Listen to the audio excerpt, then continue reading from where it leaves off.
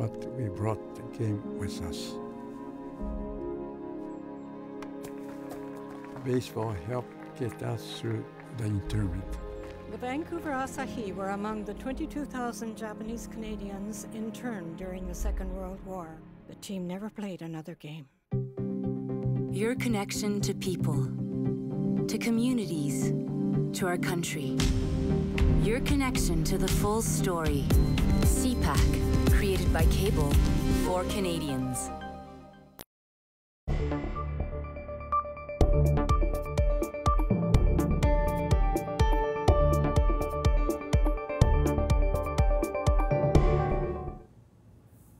Justin Trudeau celebrates at a Montreal metro station. Andrew Scheer speaks to the media in Regina. We'll be ready to replace. And Jagmeet Singh answers questions in Burnaby, British Columbia. It's time to have your say. Welcome to the program. I'm Mark Sutcliffe. Thank you for joining us today on the day after the federal election. We now know the results of Canada's 43rd election campaign. What kind of government will we see in the weeks and months ahead? Where will the Liberal minority find support for its agenda? And will the parties change their approach and tactics after a divisive and sometimes nasty campaign? There are many angles to explore in the aftermath of a very interesting election. Our question to you today Will a Liberal minority government be good for Canada? Call us at 1 877 296 2722 or tweet us at CPAC underscore TV. You can also email us at haveyoursay at cpac.ca. Joining us for our discussion today are CPAC's Martin Stringer and John Ibbitson, writer at large for the Globe and Mail. Welcome to both of you. Hello, Mark. Hello. Martin, you were on the ground in Atlantic Canada for much of this campaign. What did you observe there, and how did it play into the results yesterday? Well, first, one of the things I would mention is being on the ground in Atlantic Canada was a privilege. And the, I mean, one of the reasons was because it really challenges one of the things you mentioned about how nasty the campaign was. When you're in small communities uh, of a few thousand people, and even sometimes much bigger, uh, the candidates were really, really, uh, the, it's, very, it's really pleasant to see them avoiding a lot of the personal attacks, the invective, and all that. The cant and the, and the diatribe was really toned down. So that was good. What I saw was um, also a region that was very much, um, very much focused on issues that most people down there don't feel are being addressed by the, the major political leaders. Um, the continuing exodus of young people, economic development writ large, and healthcare, which is obviously a provincial jurisdiction for the most part. But so th they were big issues. But climate change was huge, mm. and it was very interesting to see the play. Obviously, there was not a huge sweep. Uh, the the region stayed uh, for the most part liberal but it was fascinating to watch that riding of Fredericton, which we spent time and did a profile of, and see the uh, Fredericton riding, which produced the first Green uh, candidate in Atlantic Canada. The, the three-way split that was produced right. in there was, was fascinating, but it was, it was a great experience. Yeah. All right, John, what do you make of the results? What do you think? Well, um, so first and foremost, I have all of my um, life as a journalist believe that voters are wise. And um, uh, the day after an election, you look at the result and you go, that was a wise decision. And if I think if you look in each region of the country, Atlantic Canada, Quebec, Ontario, the West, in each of those regions, voters um, cast ballots that made sense within that region. Uh, so that's good. Uh, another thing that's good is we have a stable minority government. Um, Mr. Trudeau will be able to govern with the consent of any one of the parties. I think most often it will be with the NDP. It will take all of the parties combined uh, to force uh, an election. So I think, barring some kind of political crisis, and Lord knows they do come along, um, Mr. Trudeau will be able to govern as Prime Minister for as long as he wants. Um, probably three years, if, if, uh, if, that's what he'd like to do. Hmm. Um, that said, I wrote an essay for the Globe on the weekend that that worried about the possibility of grave regional divisions in the country, and that has sadly come true. Um, Quebec uh, Quebecers voted heavily to bring the Bloc Québécois back to life. Uh, they have more than 30 seats in the House of Commons now. They are a force. Um, and of course, the Liberals were essentially shut out of Western Canada, outside of uh, Winnipeg and, uh, and Vancouver, uh, shut out completely uh, of, of, from Alberta and Saskatchewan. That's going to produce serious tensions. We'll get into the, the, the nitty gritty of that. But the country is less united now than it has been for quite some time in the past. And the fact that the Conservatives won the popular vote and lost the election is going to stoke resentments for those who supported the Conservatives and can't understand why they're not in government. Right. Great observations. Uh, going back to the first point that you made, uh, I, I, know it's we can often portray the election result as one decision, but of course it wasn't. It was uh, 18 million individual decisions, um, and the net result of it is the outcome that we have to live with now. Uh, so uh, it wasn't a group of Canadians getting together and saying, "Hey." Well, the consensus is let's have a liberal minority, right? It was the net effect of a whole bunch of separate decisions, like if the three of us got in a car and you wanted to go to Toronto and Martin wanted to go to Montreal, and we ended up in North Bay, right? No, it was it was 338 separate elections. Yeah. But uh, in each one of them, you could say. Atlantic Canada. Well, we decided that we would let we would bring back uh, the Liberals, but we would teach them a lesson by uh, giving uh, the NDP a seat in uh, Newfoundland and Labrador. Yeah. We would You're still consolidating the, the decisions in these scenarios. conservative strength, bring in a green, yeah. Uh, and you, I think you can go through all the regions and say, well, that each one of those ridings, the voters made what was for them a sensible choice. Right. So, uh, Martin, I think it is fair, as John did, to describe this as a stable minority. Yeah. Uh, yeah. There, uh, it, technically speaking, there are majority governments and minority governments, but there are different kinds of minority governments. Mm -hmm. It would have been different if the Liberals won 130 seats right. instead of 157, right? And I think one of the things that we're all trying to parse right now is how will that stable minority government function. Because we mm -hmm. just watched, uh, this afternoon, we just watched uh, uh, Yves uh, Francois Blanchet, the head of the BQ, and we're parsing through what he's saying in terms of might he be the, uh, the, the, the, party that supports the Liberals? Uh, might the NDP? Might there be an exchange between one or the other? Both. the Conservatives on some issues like pipelines, could they be? So, so it's, it's going to be a system where it is relatively stable, but I think right now we're all trying to sort of read the tea leaves in terms of who's sending out what message. Yves Francois Blanchet in his press conference this afternoon was very enigmatic. Uh, he's preferred to sort of poke fun at the NDP and saying, I think the NDP is going to have some difficult decisions with regards to whether they support the pipelines or not. And then he said, well, our position is we don't support the pipelines, but he didn't go as far as saying we couldn't support the government on that basis, and he's sent out a lot of feelers saying, or suggestions saying that they can support the government, or that they would like to see the the system, uh, he says he's no desire of bringing the government down for the next 18 months. So, so I think we're all trying to sort of get a sense of how this stable minority government is going to work, and it's, it's, a very interesting period. Yeah. Over the next few weeks, we'll probably learn more. We had expected, John, that uh, there might be a scenario where there'd be all kinds of negotiations going on right now to figure out who was going to support whom and, and, and what that would look like, what kind of trading would have to take place. Uh, that's obviously not going to be the case. The Liberals have a government, they're going to move forward. Uh, in fact, I would say if you if you didn't know the results when you watched Justin Trudeau's speech last night, you might have thought he'd won a second majority. Yeah, I mean, and there was a lot of stuff and nonsense about coalition governments and yeah. things like that. That's all gone, thank the Lord. um, and as we said last week, uh, minority governments only are tested uh, at most twice a year. So Mr. Trudeau is going to introduce a throne speech. I don't think the word pipeline will be in that throne speech. Um, be, it would be inconceivable that the op opposition parties would all combine to bring down the government on the throne speech. Well, then he just has to get through to the next budget. Um, and again, he only needs the support of one party uh, to, uh, to, to clear that budget. Any one of the three uh, will do. Um, and then he's in the clear until the next budget a year later. So I think, it, again, it is very stable. It is it be like Stephen Harper's government in 2008 very easy to govern, very hard to bring that government down. Um, it is, however, going to be a very expensive time uh, in this country. If you believe that we need to spend a great deal more money um, fighting climate change, um, good news for you. If you think it's time for pharmacare in this country, also good news. If you think that in times of um, sound economic growth, the budget should not be running 20, 30, 40 billion dollars into the red, bad news for you because the easy way for Mr. Trudeau to get through each budget is to simply spend an awful lot of money to placate the NDP right. and the Bloc, and he's going to do that.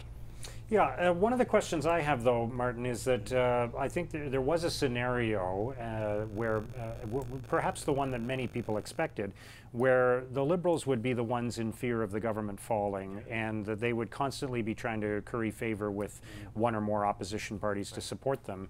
Uh, it's quite possible that the reverse is true now, where it's the opposition parties who are more worried about the government falling and another election being triggered, and the Liberals can play a little bit of a game of chicken with them and almost govern like they have a majority and dare the opposition parties to bring them down. Well, that's in my, uh, I mentioned, for example, Yves, uh, Yves uh, Francois Blanchet, the, the, the Bloc leader.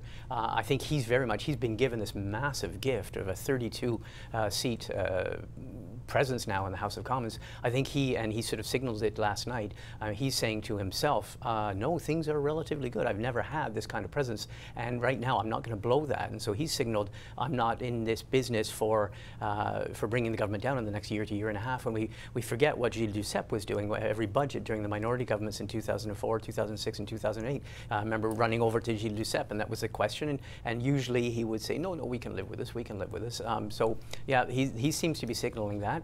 The, uh, the NDP, I think, is probably going to think, as you say, uh, twice or three times before uh, doing anything precipitous because obviously you parties are also licking their wounds in that case and looking at their finances, looking at their, their status. Uh, do they want to try an election go and go to an election?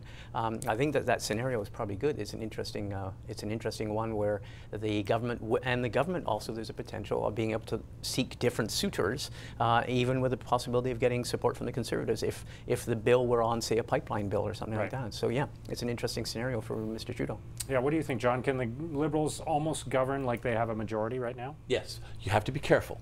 Yeah. Uh, Joe Clark made uh, that mistake in 1979. He won a, a pretty solid uh, minority government. By the way, he also lost the popular yes. vote. Uh, but he decided by that, a substantial margin, in fact. Uh, indeed, yeah. he did. Um, but he decided that he could govern as though he had a majority. He, the, the Liberals were in the midst of uh, choosing a new leader. Pierre Trudeau had stepped down. Um, he wanted to introduce an austerity budget, um, and uh, and he did. And he didn't count how many votes there were out against him, and he was defeated. Um, Mr. Trudeau's big decision, in fact, I think the biggest decision Mr. Trudeau has to make right now is who will be his House leader. Uh, he doesn't have a lot of real veterans in cabinet. Uh, the loss of Ralph Goodale uh, in Saskatchewan is going to be a serious blow to him because he needs someone who's been around the block a few times, who knows how to count votes, who knows how to get into a room and maybe pour a drink or two and talk to the other House leaders and get a, le a legislative agenda through. Um, but barring any kind of you know act of rank foolishness, as I said, I think Mr. Trudeau governs until he chooses not to govern. This mm. government, my prediction is this government will choose its defeat rather than being defeated. Right.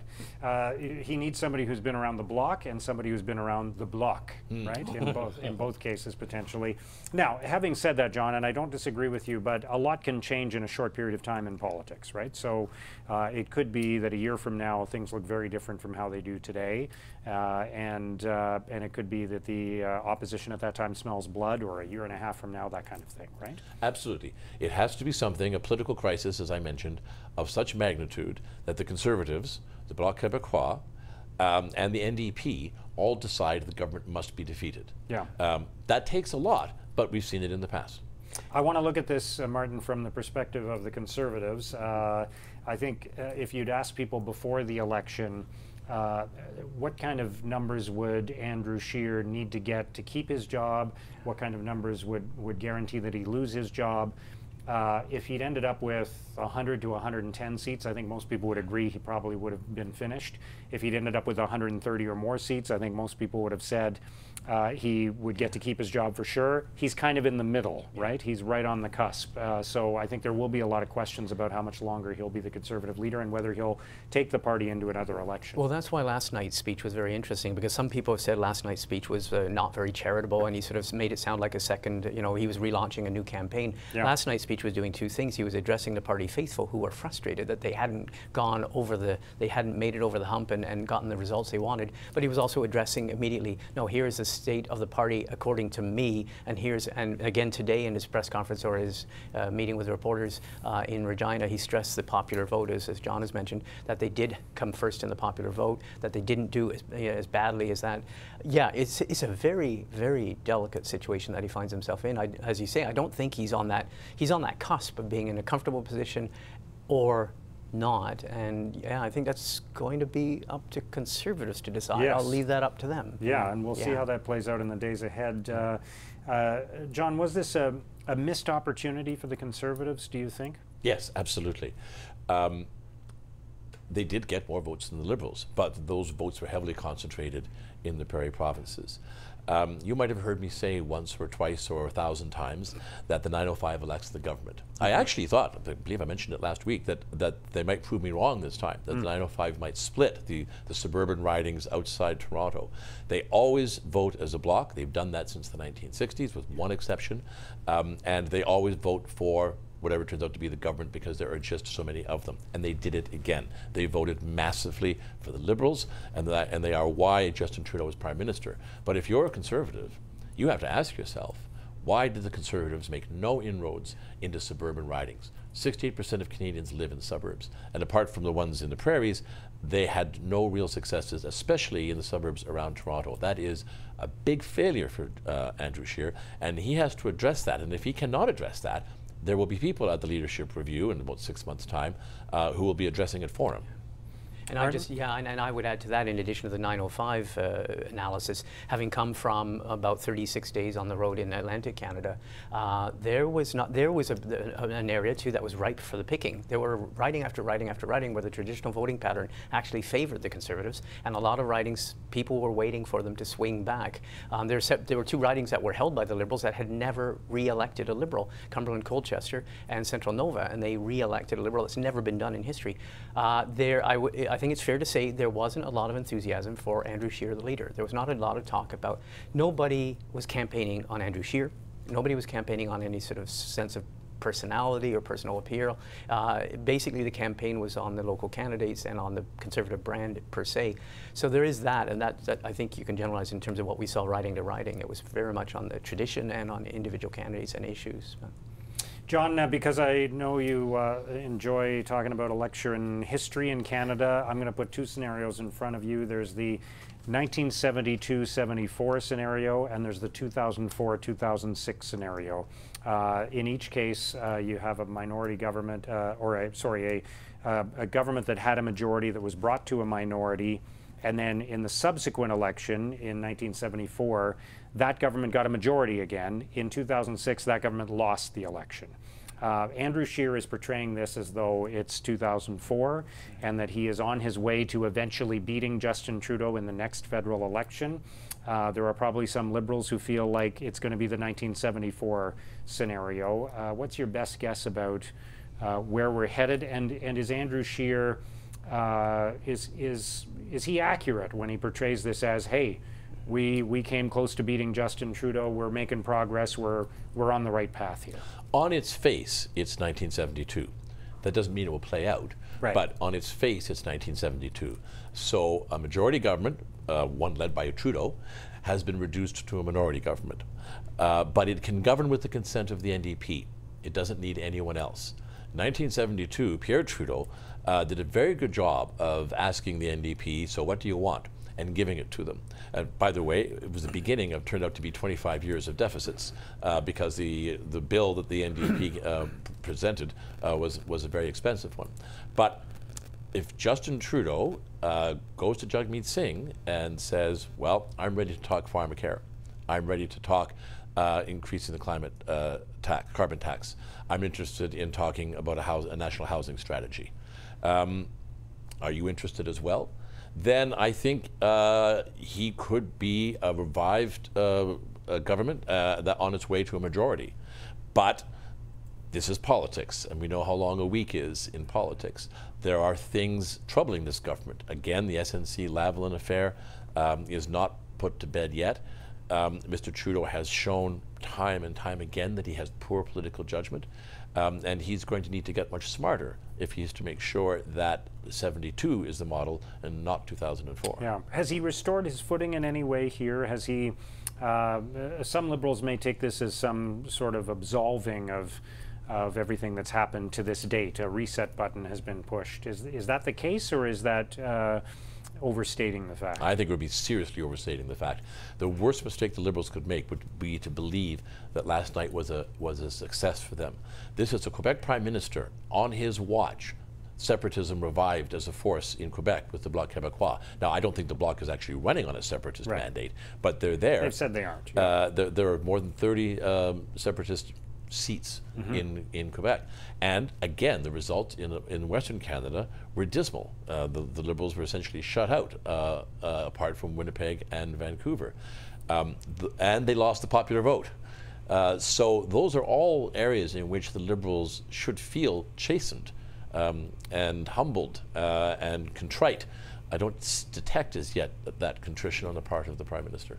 I would, I would throw one thing on to uh, in, onto the uh, the Quebec aspect of this election, and that is it's, it's probably one thing that people may not be looking towards, and that is at a certain point the Quebec courts will rule on Bill 21.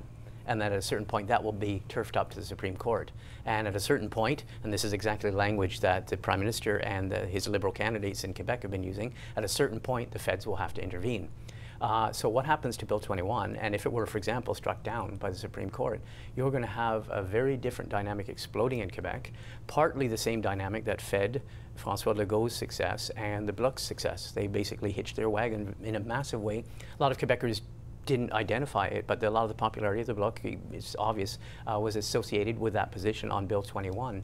Uh, and we even had Francois Legault at the very beginning of the, uh, of, the- of the election saying, don't touch Bill 21. And for the most part, the federal candidates and the federal uh, party leaders didn't touch Bill 21. But that is going to come home to roost at some But point, if too. you are an opponent of Bill 21, Yeah. if you see it as a discriminatory piece of legislation um, that discriminates against uh, religious minorities in the province of Quebec and that it should be struck down, last night was a very bad night for you because uh, the Bloc Québécois took more than 30 seats in defense of Bill 21. Jagmeet Singh has already said that he doesn't think the federal government should get involved in this fight. Um, and Justin Trudeau has said, well, intervention if necessary, but not necessarily intervention. There is no political gain now for the Liberals to have anything to do with Bill 21. I think, in fact, they won't Yeah. intervene. But it, yeah, but it's a delicate because I, I, mean, I talked to one of his star candidates in Longueuil riding, and it is amazing how they're parsing their words. He said, at a certain point, it may be opportune for us to intervene. And I said, oh, so you're saying that, that you should intervene? And his point was, he, the point they're making is, well, yes, there are other rights that could be uh, challenged as well, like minority francophone rights and all that. So they're obviously testing the waters as to whether they will actually, yeah, have to intervene eventually. Yeah. All right, let's see what some of our viewers think about the outcome of this federal election. We'll start with a call from Richard, who's in Peterborough, Ontario. Hello, Richard. Hi, Mr. Ibbitson. Thanks very much for having me on your program. Uh, my take on this election is as follows that there needs to be a grander vision for Canada, that hopefully uh, Prime Minister Justin Trudeau and his minority government could take a, a note from Lester Pearson's prime ministership, where in 1963 he was able to co- accomplish great things as a minority government, uh, where I, I'd like to use John Ibbitson's comments on history and congratulate him also on his astute columns in the Globe about our national unity.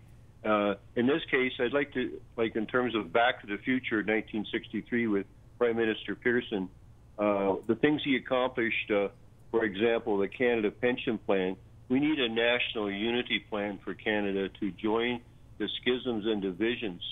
Uh, to he ended capital punishment. We need a national program to end the opioid crisis. It's killing people uh, right across our country. Uh, he also, uh, Lester Pearson, unified the armed forces. The armed forces were conspicuously absent in the election campaign. Uh, the PTSD, the treatment of veterans, or our national defense policies. Uh, the Chinese Navy is going to show up in the Northwest Passage in the next five or ten years. Uh, there are missiles to destroy satellites that do the surveillance. Uh, how are we going to cope with threats to our sovereignty and our 35,000 mile coastline right around our country? Uh, national defense didn't, uh, the periscope never appeared during the entire uh, campaign. And uh, I, in terms of Margaret, uh, uh, the author that wrote the Testament, uh, uh, basically she said that history doesn't so much repeat itself as it rhymes. And I, I see a rhyme here between the 1930s where countries drifted with their defense policies. Uh, they're going to acquire equipment uh, on a manana basis. Our procurement of naval vessels is stalled out. The same with the fighter planes. Uh, national defense should be a, a focus for this government, together with the opioid crisis, or even more so, affordable housing. We have a national crisis in affordable housing from Vancouver's east side to Peterborough's Victoria Park uh, to Nanaimo, a desolate camp. Uh, these issues need to be dealt with in a mature way versus petty partisanship. Okay, Richard, thank you very much for your call. Let's go to Joseph in Winnipeg. Hello, Joseph. Hi. Hi, go ahead. I just want to thank uh, Justin Trudeau for uh, getting rid of Scheer because uh, uh, our next leader will be Peter MacKay. So you think Andrew Scheer is finished as conservative Oh, leader? yeah, definitely. Uh, he's definitely uh, finished, and uh, uh, the re- the reason I'm saying that, uh, w- if I was the leader and he kept bringing up uh, uh, blaming uh, Scheer for uh, the deficit in Ontario and Doug Ford, that's that's really stupid. I would have cleaned the house with uh, Trudeau on that matter because Ontario were the ones that won the election, nobody else. Thank you. All right, thank you for your call. Uh, Bob in Chilliwack, British Columbia. Hello, Bob. Hi, how are you guys? Good, thank you. Okay, sorry. Go ahead. Oh, okay. Um, I'm just going to go a quick one to strategy and then a couple of other points. On the strategy thing, I hate to do this to the Conservatives, but as an outside observer looking in, could the Conservatives um, survive, uh, or could Peter MacKay survive leading the Conservatives? If you remember what happened to Rona Ambrose when she basically made sure that that party was in one piece and healthy to move into the next election cycle and for the next leader, she was still uh, accused by people within her party of acting in her own self-interest. And th- those same population set, if you will, prevent any leader of the Conservatives, at least as I see it from the outside looking in, from reaching out past their traditional base.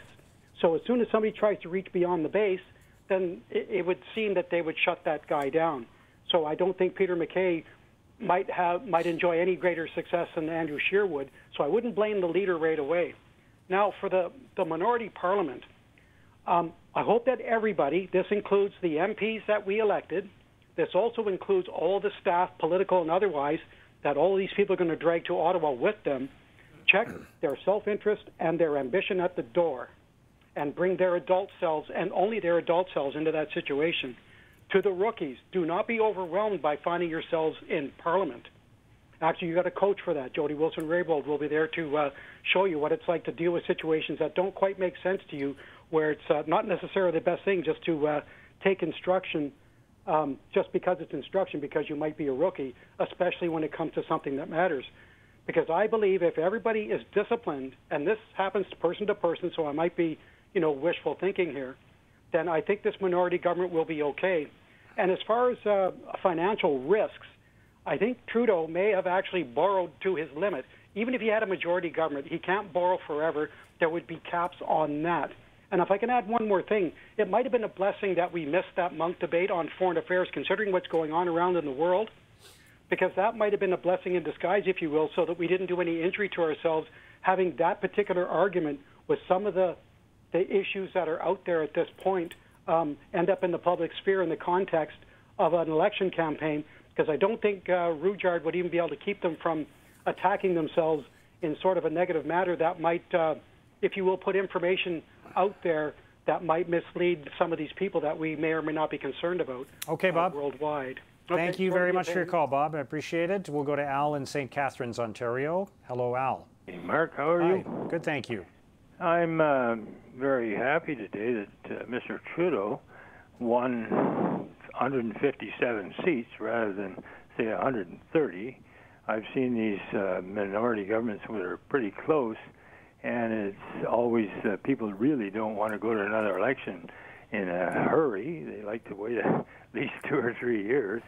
And uh, I'm one of those that think that everybody should be given a chance, even in a minority but uh, you know, it's just uh, I think it'll work because there's people there that have goodwill, and uh, if Mr. Scheer uh, puts in some goodwill, I think that uh, this minority parliament can work quite well, even for four years.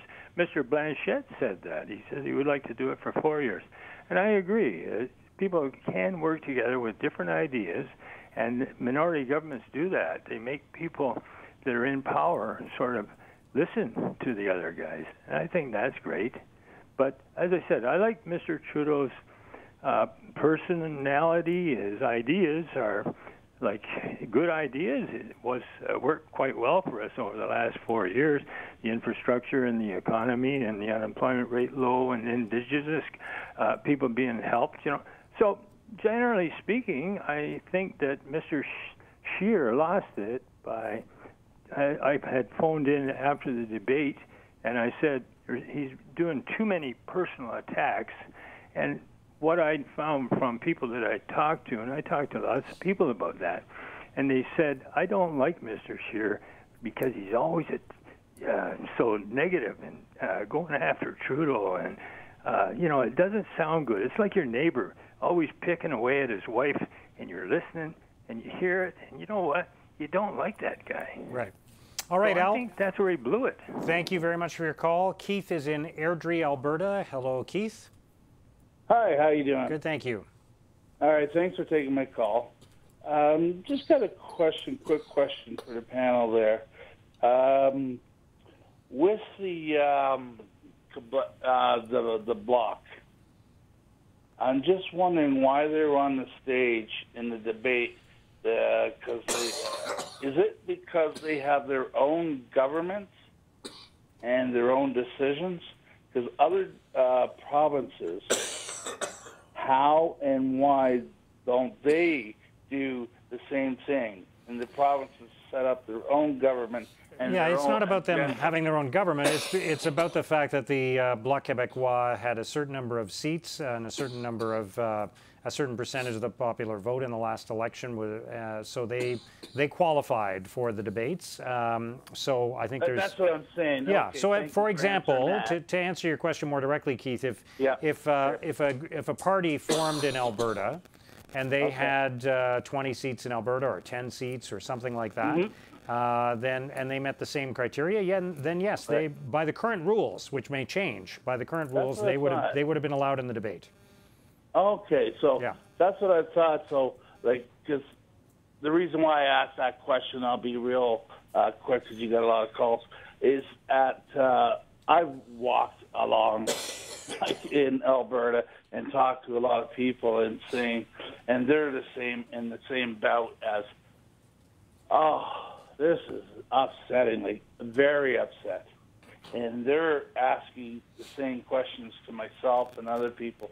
I don't know. I can find out. And this is the way I found out, and I thank you for the answer. All right, thank you very much for your call, Martin.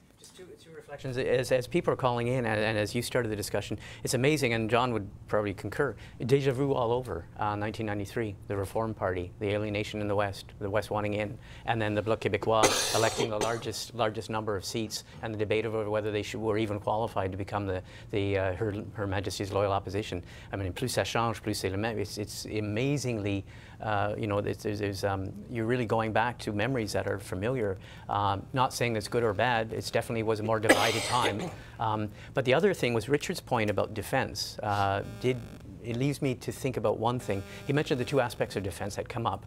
And it, I am not party to the internal strategist for the Liberals or the Conservatives, but one has a hunch that the Liberals came riding in on a promise to treat veterans better and to do procurement completely differently. The two biggest bugaboos in all of Canada's defence policy have always been the incredible way we go about procurement, the multi-billion dollar contracts, and also the, the treatment that's reserved for our veterans. So they went sweeping in on that, but they find themselves equally impaled on both issues. So one gets the sense that nobody, uh, I don't think the Tories uh, made it a huge issue either because I think they were both feeling very vulnerable on that issue. That might be an explanation to Richard's point about why defense, those two aspects of defense weren't raised in this, in this election. That's just a thought. All right, let's go back to the phones. Anne is calling from Etobicoke, Ontario. Hello, Anne. Yes. Hi, go ahead. What I want to know is why is there nothing being said about the deficit? It is. It was promised that uh, he would get rid of it. He hasn't done that. Not, nobody is saying anything about it. I think it was discussed quite a bit during the campaign, uh, but the reality is none of the political parties right now uh, have been proposing to eliminate the deficit in, in short order, apart from Maxime Bernier and the People's Party, who said they would do it within two years. Well, Trudeau said that he would uh, get rid of it a lot sooner. Yep. But isn't it just practical that you uh, get rid of it so that you don't pay interest on that? Because the interest that uh, is paid on the, on the deficit could do a whole lot more good. That's, that's certainly one way of looking at it. Anne, thank you very much for your call. Uh, next up is Rob in Lethbridge, Alberta. Hello, Rob. Rob, go Hello. ahead. Hi, go ahead. Yeah, yeah. I just wanted to. Uh, I mentioned to your producer that uh, about a year ago I predicted on my Twitter feed that there was no possible way that Andrew Scheer could win the election based on his kind of a Caspar Milquetoast personality. I, I actually sent an email off to them begging them to run Pierre Poilievre or someone else that could put some heart and soul into it. And my second point was that uh, I was through the first Trudeau thing in Alberta here in the NAP, and in the last uh, 48 hours or so, I have never heard so much actual people talking way past the point of being mad about separation, but where do we go to organize? Where do we send their money? And who is going to lead us in the separation move? It's it's actually quite scary. All right, thank you for your call. Kenny in Chilliwack, British Columbia. Hello, Kenny. Hi, uh, Hi. Seniors like me that are living below poverty, less than seventeen hundred dollars a month. Who controls Indian affairs in BC, the federal government or the provincial government? Because it's the NDP government, I think, that put uh, clawback on First Nations people that took early retirement. I've been on old age pension for 15 years, and I'm living below poverty because in BC, $2,200, anything below 2200 is poverty. I'm living at uh, 17, less than 1700 a month, and the government of BC's got a clawback on me for early retirement. It's Right. been 15 years. I'm Well, I'm wondering sorry- if I'm sorry to hear that, Kenny. getting the money Thank you. Getting the money. Thank you very much for your call. I, I, I sympathize with your circumstances. I want to keep the discussion focused on the outcome of the election and uh, where we go from here. Let's take a look at some of the comments we've received so far on social media. Reminder to use the hashtag CPAC Vote 2019. This person writes After a Doug Ford win for the Conservatives in Ontario and all the senseless cuts to the budget, I'm glad the Liberals won the election. After all, Scheer had $53 billion in cuts he never explained where it would come from.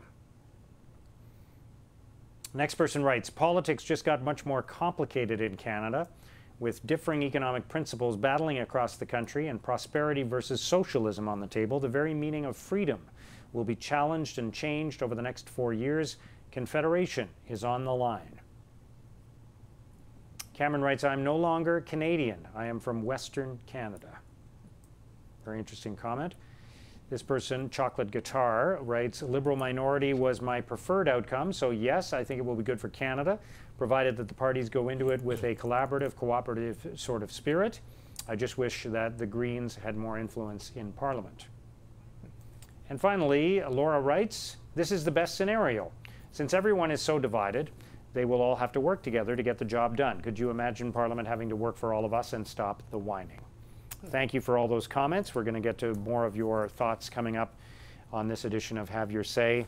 One thing that will be different, Martin, I think that's worth talking about is the committee structure.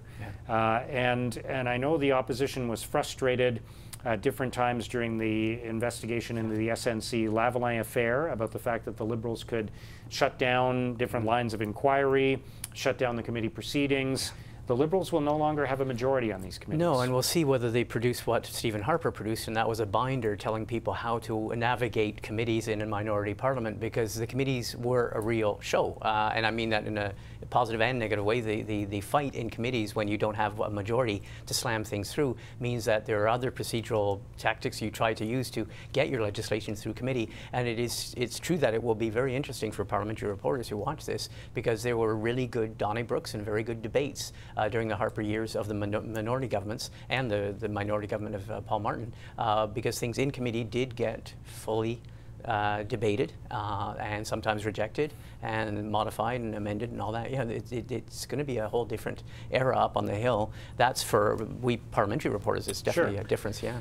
Well, will there be uh, more latitude for the opposition to pursue Yeah. the SNC Lavalin inquiry? SNC Lavalin, I don't know. That's a good question. I'm, Yeah. I'm not sure whether that's going to be reopened, but uh, certainly everything of that nature will Sure. get a whole, have Yeah. a whole different John, outcome. what do you think? Well, if I don't know that SNC Lavalin will get relitigated unless something new comes up Yeah. in the way, perhaps, of an RCMP investigation. Uh, but the next big scandal or crisis, whatever it is, will get litigated in parliamentary committees. But Mr. Trudeau has an advantage here that Paul Martin didn't have.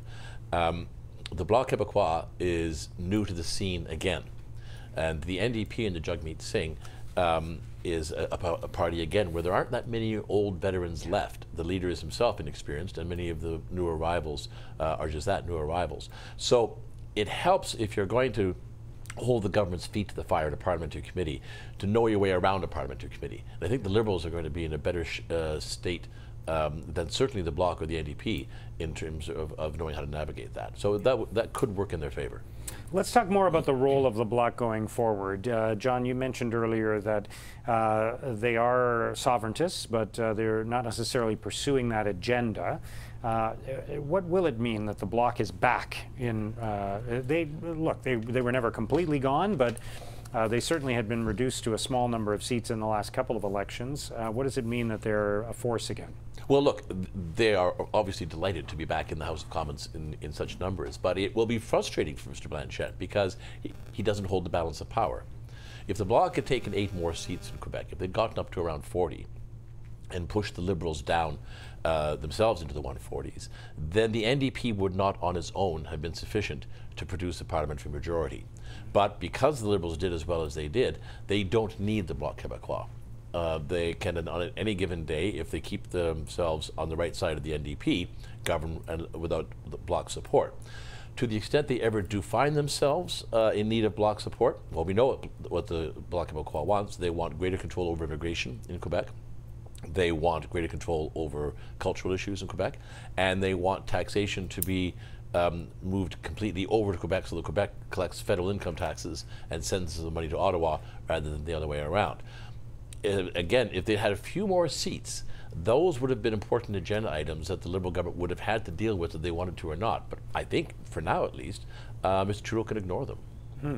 Interesting. Yeah, on the Bloc, I would say one of the interesting things was we just saw, uh, Canadians saw a period about 12 months ago where people were predicting the imminent demise of the Bloc under Martine Ouellet um, because, because of her personal management style and leadership style, but also because of the inherent frustration in the Bloc. And that is, we've seen this over the years, that is, the, it, when the block goes into a period of hibernation in terms of its sovereigntist option, you get this internal, uh, this internal chemistry, this internal uh, friction of people who at a certain point start to chafe at the bit and say, well, okay, what are we here for in Ottawa? And I think Martine Ouellet's problems, and before her, the previous leader before that, it wasn't just their, their management and leadership style, but there were inherent problems built in with the bloc. My hunch, and this is totally unscientific and not borne out by any particular inside knowledge, but my hunch is that right now the bloc is in a good period. They're in a good place. And those sort of tensions that regularly emerge, uh, Gilles Duceppe has spoken about them, uh, that's a long way off for the bloc. The bloc is uh, on a honeymoon with itself and its new status and its refound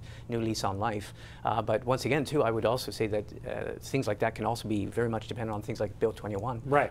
yeah, I was just going to say, I think the uh, whatever uh, this Parliament lacks in terms of a big question around uh, sovereignty be uh, could be could be replaced with the the issues arou- arising from Bill 21. Right?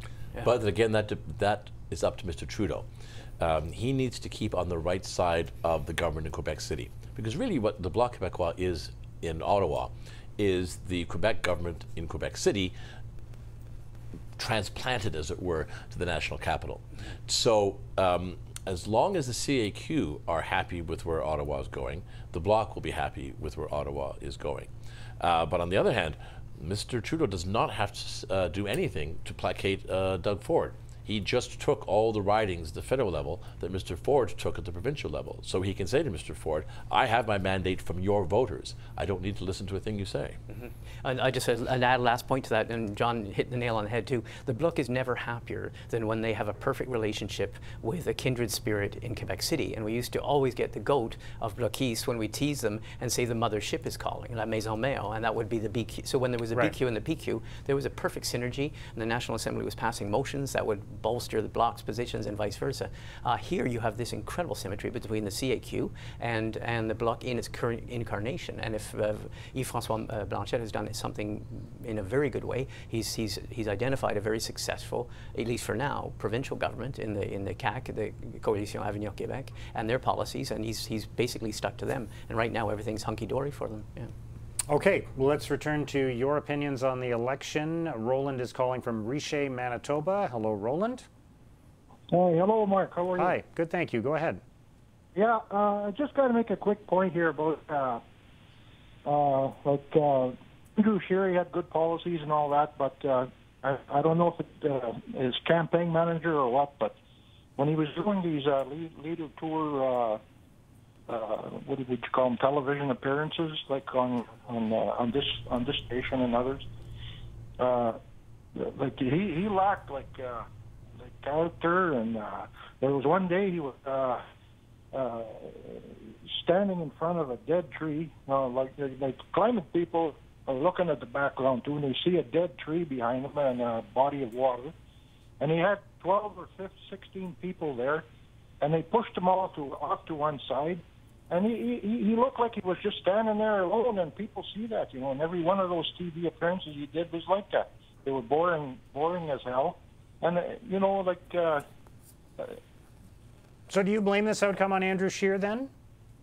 Yeah, like he he he could have run that uh, campaign a little better. I think uh, showed a little more uh, charisma, character, you know, uh, a little more fun in, in the campaign, and he, he stood there like a like a statue, really. And that that one day with the tree stump in the back, well, I couldn't believe that. Yeah. There's a lot of a lot of young people, uh, climate change and all that, and you see a dead tree behind him. And uh, he, he had a chance to show these 12, 16 people uh, behind him uh, supporting him. And he pushed them all to one side, and he stood there like a statue by himself. So uh, that's just my point. As okay. far as a, a, a minority government, I think it could probably work not too bad. Okay, That's Roland. Basically, all I got to say. Thank you. Thank you very much. Uh, you know, it's easy to talk in hypotheticals, John, but um, uh, there will be some people who will believe that Ron Ambrose or Peter MacKay or Jason Kenney, who, by the way, is expected to speak in a few minutes uh, uh to give his reaction to the federal election as the Premier of Alberta, and we'll go there live when that happens that one of those people or someone else would have done a better job. But of course, it's all hypothetical. If that, if that person were the leader of the party, uh, they would have been confronted with challenges and obstacles, and and uh, that person might have stumbled as well. Right? That's true. It's also true that any political party that loses an election, uh, especially one in which there was a real shot at them winning it, um, uh, will go into internal division, will yeah. suffer from internal divisions. Uh, the, the Conservative Party is required by its constitution to hold a leadership review uh, within the next few months. It'll probably be in April or May. Um, and at that time, the, the, the, delegates will vote whether or not um, Mr. Scheer has their confidence. If someone like Peter MacKay or Warren Ambrose or someone else um, genuinely believes that they could do a better job, they have the opportunity, um, if or they also have the means, to challenge him at that convention. Hmm. I would pipe in one thing too. For example, one of our the earlier callers referred to Peter MacKay and to Rona, Rona Ambrose. I will say one thing in in 40 years of covering political parties, I've never seen a situation where an interim party leader, i.e., Rona Ambrose, where you had more people from the party faithful saying to you, geez, we really wish she could have stayed on. It was really, uh, I found that a real singular thing, uh, and that was a testimony to Rona Ambrose in terms of what she did to the, that party post Harper in terms of giving a new face and her management style and her leadership style. I'm not making a judgment about whether she could have done any, any better than Andrew Scheer, but it was a very particular thing for Andrew Scheer to inherit after, with all these party faithful, including high, high-ranking party members, saying to you, you know, we really botched it by having that rule where Rona Ambrose had to step down and she had to be interim. Um, I, that's just an observation. It was yeah. quite interesting. Uh, by the way, we're told now that Jason Kenney, the Alberta Premier, will be speaking at about 5.30 Eastern Time, uh, originally scheduled for 3 o'clock Eastern Time, now 5.30 Eastern Time. So uh, we'll go to that at that time, but we won't see that in the next few minutes here on CPAC. Let's turn back to your comments on social media and see what people are saying there about the outcome of this election. Again, our question today, do you think a Liberal minority will be good for Canada? Mr. Dash writes, it could be. It simply means being able to secure the backing of a majority of MPs for your program. History shows minorities in the Westminster system here in the UK oftentimes were not all weak or ineffective or held to ransom by other parties. This person writes, Sure, it will be okay this time around. The only problem is the drama posted by the folks that say the sky is falling and Canada is more separated. It's no different than yesterday. Joseph writes, I'm deeply concerned about our national unity given the massive numbers that voted against Trudeau, but without an effective vote. And I'm equally concerned about Canada continuing to be a laughingstock on the world stage. Trudeau has already changed this country for the worse, and he should not have been allowed more time to do more damage. Canadians just wanted handouts, and we will pay a price for this, as will future generations. This is not new. Politicians just need to work together to get things done. Instead of focusing on differences, focus on common ground. This is good for the whole country. Just on the issue of division, John, uh, I do think it was interesting. Uh, we were talking about this over the last couple of days when the polls were showing the Liberals and the Conservatives at around 31, 32 percent. There has never been an election in Canadian history where at least one of those two parties didn't get at least 33 percent. And, uh, and as it turns out, both of them crossed that threshold in this election. But I haven't actually gone back and done the math. I'm guessing, though, that this, if you were to combine the Liberal and Conservative support in this election, that total would be the lowest combined total for those two parties in any election in Canadian history or close to it. That's a really good question, and I don't know the answer to that. Um, but what does it mean? I mean, it would be it would be low certainly. Yeah, I Uh, so what does that mean? It's not Is as it though fragmentation. It, yeah, it's not as though the electorate did something uh, last night that surprised us. They had told us uh, throughout the entire election campaign that they weren't happy with Mr. Trudeau and they weren't happy with Mr. Scheer. Um, both parties had very low levels of support. In the end, um, the, the Conservatives did win the popular vote over the Liberals, uh, but but lost in the seat counts. But again. Um, especially when I listened to uh, Justin Trudeau last night, I was surprised at the lack of humility or contrition. Um, he's acting as though he's scored a tremendous victory. Well, it's a minority government, and yes, uh, he did it with a very low level uh, of popular support. Yeah, I, th- I, gue- I would guess though that everything's relative, right? And and that uh, for Jagmeet Singh, the outcome of this election is a good one because it's relative to where the people thought the NDP was going to end up. Uh, for the same for Justin Trudeau, Mhm. it's not uh, based on a comparison to where people thought it would be a year ago, but where people thought he might tur- turn out uh, a month ago. Well, on the, on the number crunching is interesting because as you're saying that, I was also asking myself the same question. Uh, it would be interesting for all of our viewers, or we can do this as soon as we get off the set, to go and number crunch, for example, when you had the, the Reform Party in the West and you had the Bloc Québécois in 90, I'm go, I go back to 93, uh, it's an interesting question because they, there you had significant proportions of the Canadian population that were saying, in a way, none of the above as well. So it is interesting. But as you say, too, the other thing I think I, I still am passionately interested in seeing, and that is we've talked about how the minority government will act in terms of the interactions between the parties, and how will this affect Justin Trudeau's management style? How will it affect his leadership style? How will it affect his caucus style? And I know some people have mentioned it, uh, Susan Delacourt in an article in the Toronto Star, but, and, and some insiders are even saying, they're quoting backbench MPs is saying, well, we're hoping that this will produce a different style of management because some of Justin Trudeau's worst problems uh, were of his own making in terms of managing certain crises, uh, uh, witness to uh, to ministers who resigned. So it will be interesting to see if this does change yeah. anything in how he, he does business. That's a good point, by the way, that in 1993, uh, the Liberals and the Conservatives, uh, the Progressive Conservatives at the time right. under Kim Campbell, of course, they had their historically bad election. Yeah. They only got 16 15% of the vote. And um, so they added, with the Liberals getting about 41%, that added up to 57 this time around. It's mm-hmm. 67% going to those two main But parties. I think what we can say, uh, and it's going to take about 90 seconds for Twitter to correct me if I'm wrong about this, uh, but I think we, what we can say is that there has never been an election in which the, govern the, the party that formed the government had a lower percentage of the popular vote as a result of the election. I think you're right about that. And yeah. that gets to the original point I think that John made, and that is this was an election where, and we found this in Atlantic Canada, this was an election where people are saying we're giving them another minority, but enough Canadians in those individual ridings and in their individual decisions were saying, but we're not thrilled by anything that's going on. Uh, Yeah. And so, yeah, that was why I think commentators are quite funny creatures because they're all saying we're missing a narrative, we're missing a narrative. Maybe there isn't one narrative. Maybe it's, it's, it's 300, you know, 300, 338 narratives. Maybe it's uh, 36 million uh, narratives. But people seem to be saying that a lot of them didn't quite like the way things were going uh, in a lot of the parties and with a lot of the leaders. Yeah. So it, it, it, it posed an interesting question. Yeah, I'm, I'm just looking back because I did a, uh, Number I did a crunching. spreadsheet on this. And um, in, uh, let me see here, in 2004, uh, the Liberals won with 36% of the vote, and I'm pretty sure that was, well, Hello? yeah. Uh, in, in 2004, the Liberals won with 36% of the vote. Yeah. And that was, uh, they won the popular vote and they formed a government. And that was the lowest uh, uh, high popular vote count, uh, the lowest, highest popular vote count of any party in a federal election.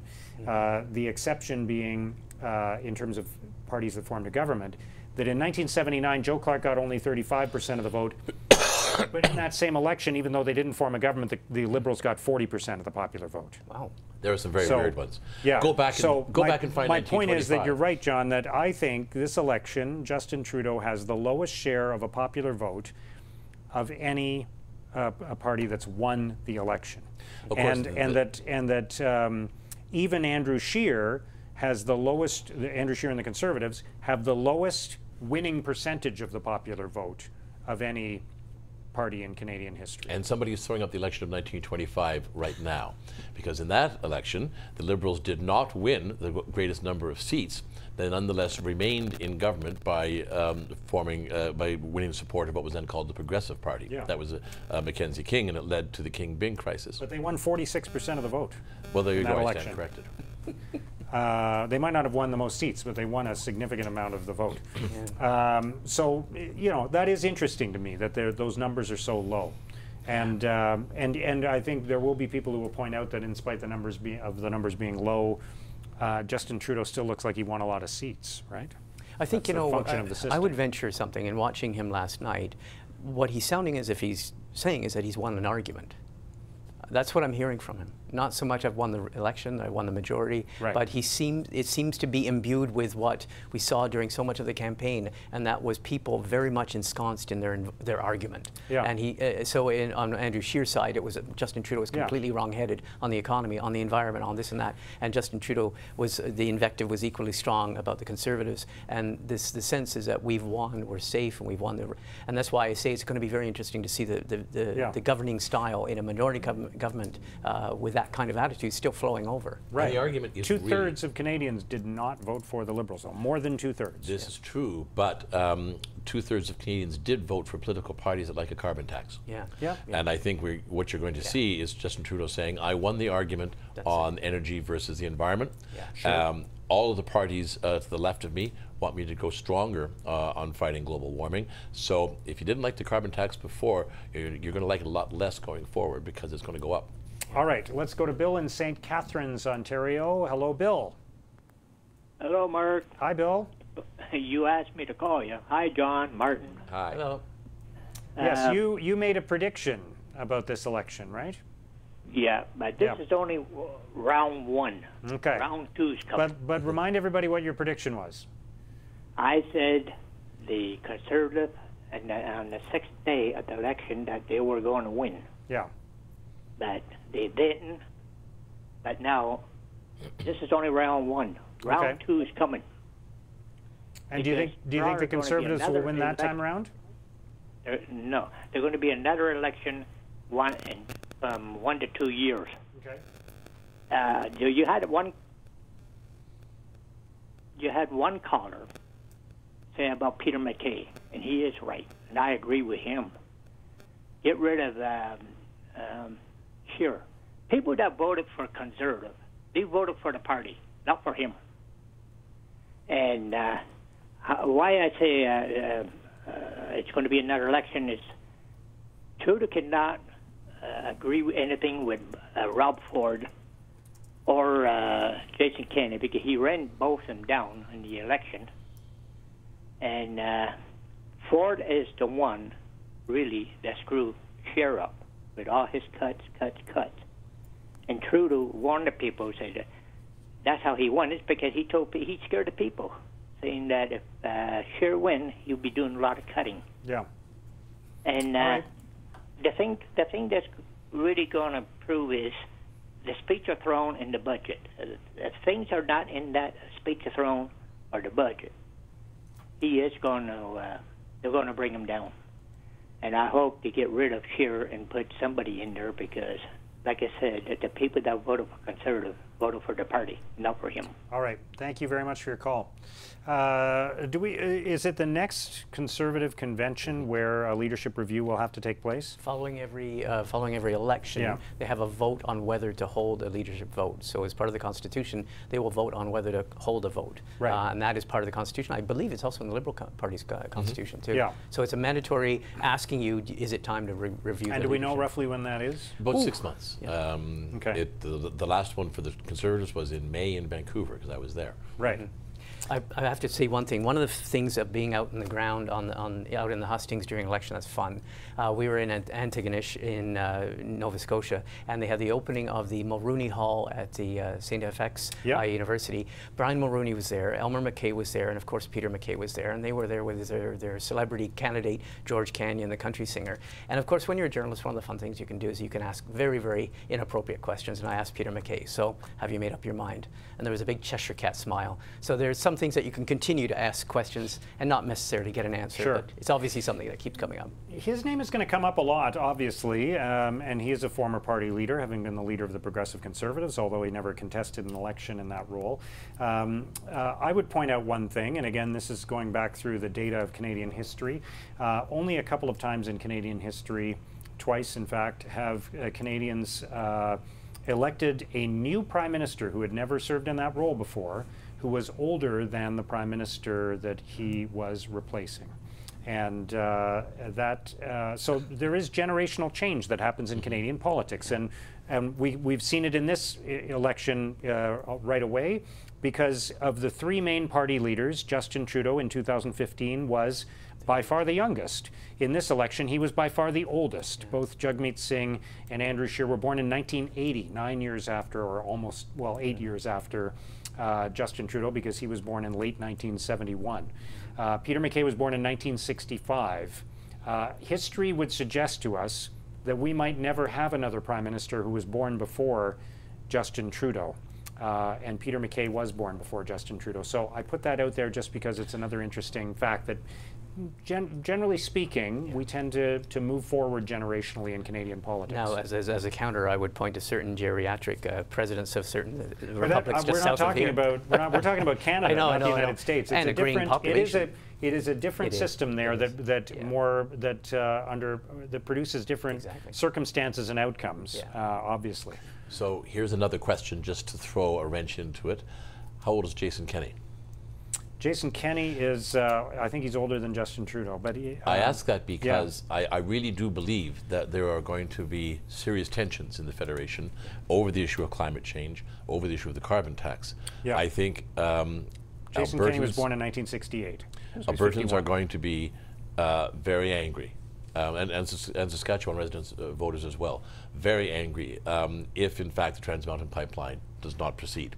Uh, if uh, the, the Bloc and the NDP are able to force the Liberals to abandon that pipeline, and if the carbon tax goes up, their essentially their economy uh, will be thrown to the wolves in the effort to fight climate change. In that situation, it would not be inconceivable that Jason Kenney might decide that the best interests of Alberta would be served if he were the leader of the Conservative Party of Canada. Right.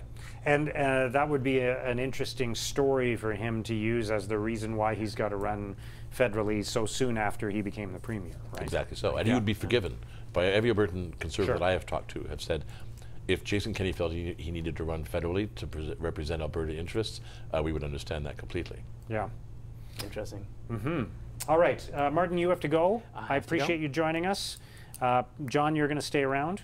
If you'll, if you'll have me. Of course. and uh, in the second half, so again, thank you, Martin. pleasure. Uh, coming up in the rest of our program, we're going to continue to talk about what we- we might see from the federal parties in a new session of Parliament. We want to continue to hear from you. What do you think of last night's election results? And will a Liberal minority government be good for Canada? Call us with your thoughts right now. We do have a couple of lines available. The phone number is 1 877 296 2722. Send us a comment online using hashtag CPACVote 2019. Let's take a look now at what the leaders said after the votes came in last night. From coast to coast to coast, tonight, Canadians rejected division and negativity. They rejected cuts and austerity, and they voted in favor of a progressive agenda and strong action on climate change.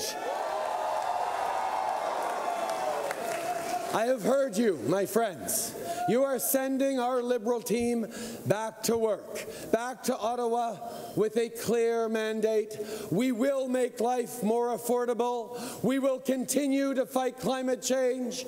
We will get guns off our streets, and we will keep investing in Canadians. Now, there are still a number of really close races, so we don't know for sure how many more Conservatives Canadians will send to Ottawa tonight. But what we do know is that after the 2015 election, when Justin Trudeau looked unstoppable, when all the pundits and experts said it was the beginning of another Trudeau dynasty, that he would have eight or even 12 years in power. But tonight, Conservatives have put Justin Trudeau on notice. And Mr. Trudeau, when your government falls, Conservatives will be ready and we will win. We have picked up seats and support in almost every region of the country. And at the time I walked onto the stage, we are leading the popular vote, ladies and gentlemen. More Canadians wanted us to win this election than any other party. And remember, remember 2004, Stephen Harper's first election. He erased Paul Martin's majority and then went on to lead a conservative government that lasted for nearly 10 years. This is how it starts. This is how it starts. This is the first step. And now we are heading back to Ottawa with a much bigger team, with more support from coast to coast, and with an endorsement from the Canadian people that we are the government in waiting.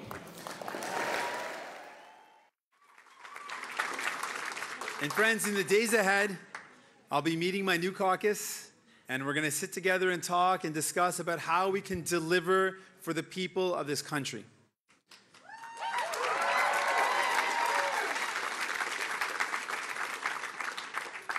Because the real winner of this election is not a party or a leader. The real winner of any election should always be the people, and that means Canadians.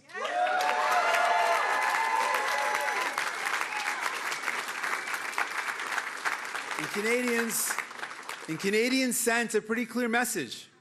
A clear message tonight that they want a government that works for them, not for the rich and the powerful, not for the well connected.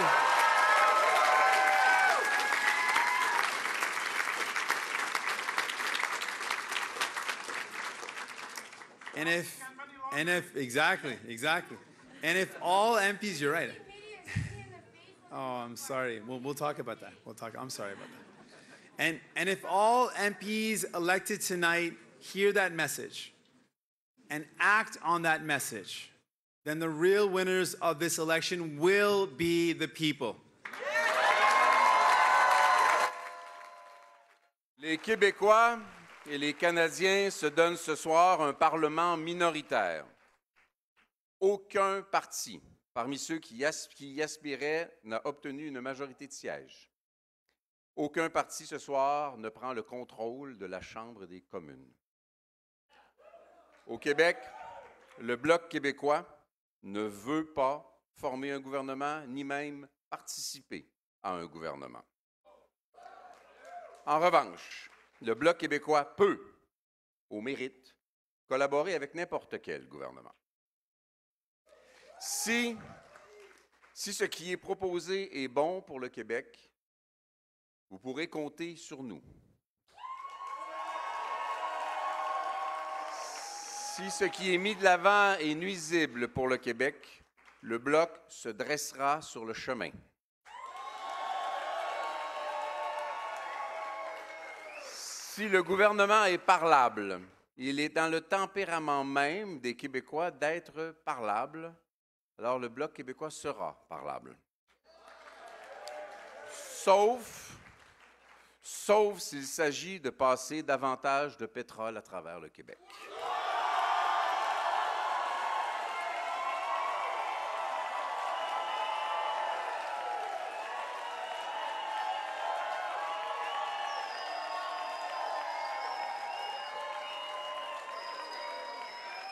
Sauf s'il s'agit de renoncer ou compromettre des valeurs, notre langue ou l'engagement du Québec envers la laïcité des institutions publiques. Je ne crois pas que les Québécois et les Canadiens aient élu un gouvernement minoritaire dans le but de retourner aux urnes dans 18 mois ou dans deux ans et demi.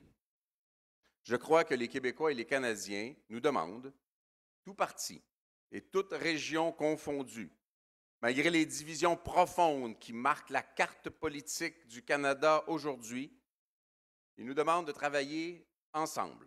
I stood on a stage in Victoria September 11th, and I saw the school climate strikers in front of me. I saw Emma Jane, I saw Emma, uh, and I saw Rebecca, and I said, jump up on stage with me. So if you see some, some teary faces up here, this was a children's crusade. And I vow not to let them down.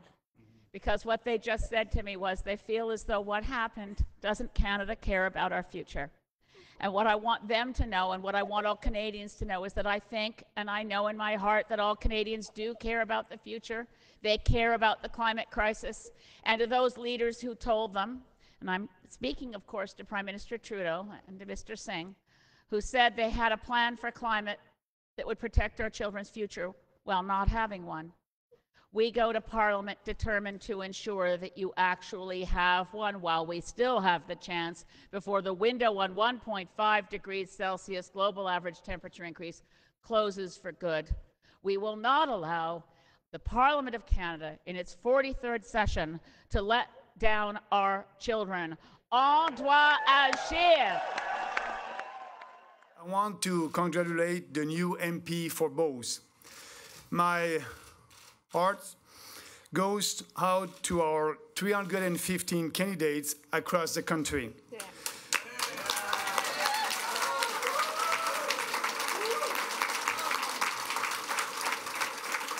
They, they showed extraordinary courage and passion in defending our principles and policies.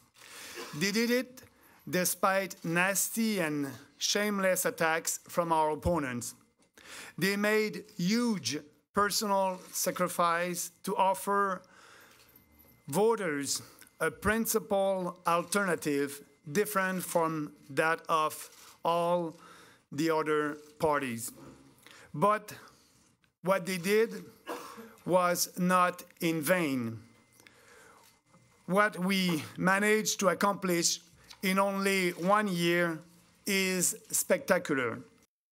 That's what the major party leaders were saying after the election results became known last night. Now it's time once again for you to have your say. Welcome back to our program. We're continuing to look now at what might arise out of yesterday's election. And our question to you is this Will a Liberal minority government be good for Canada? Please call us now at 1 877 296 2722 or tweet us at CPAC underscore TV. You can also email us at haveyoursay at cpac.ca. John Ibbitson from the Globe and Mail continues with us this hour. And joining us for our discussion are Mehdi Bouchentouf, a political science student at Carleton University, Ariana Coleman, a public affairs and policy management student from Carleton, and Leslie Mayhew, who is studying political science and public administration at the University of Ottawa. Welcome to all of you. Thank you. Thanks for having us. Let's get a quick reaction from each of you on the election results. Leslie, what did you think? I kind of expected it. Like right from the beginning, I just had this sense that no one was going to be able to really come together to get a majority. that wasn't going to be possible. I didn't know if it was going to be conservative or liberal because there was a strong leaning in both as far as my own friend circles or personal relations are concerned. Um, I'm not really surprised. Okay, Ariana? Yeah, I think definitely considering that the popular vote went conservative, but then the electoral vote went liberal, um, it made it very clear that there was definitely a huge divide and that national unity is becoming increasingly more important. Um, so I think that the question of whether it's a good government is for whom. Mm-hmm. Mehdi? Um, I felt that was expected. I think it was again 50-50 between like, like a liberal minority or, or, conservative minority, but I think most people went into it thinking, you know, this is going to be a minority government. Um, I think at that point it was really interesting to see how the Bloc gained in Quebec and, and how Ontario and Quebec just generally went, because I think most of kind of the West went uh, the conservative way. So I think it's going to be interesting to see how government functions, but I think I don't think anybody's going to be extremely surprised of the result. Yeah. Was this the first election in which each of you could vote? Is that second. the case? This was your second? Yeah. Okay. Uh, so for you, what was the experience? Was the experience of watching an election different because you had a stake in it? Yeah, certainly. I think so. I was able to vote in the provincial um, election last year, so that was kind of my first taste of doing it, and just the amount of investment I think that people our age are starting to have in federal politics is really interesting, and just seeing more, um, even on social media, people are interacting with uh, their local MPs and are more involved in the process overall, which I think is amazing. Yeah, Mehdi, for you, what was the what was it like? For me, this is technically my second federal election. I was able to vote in the uh, Ottawa Vanier by-election, unfortunately due to right. Bélanger's passing away.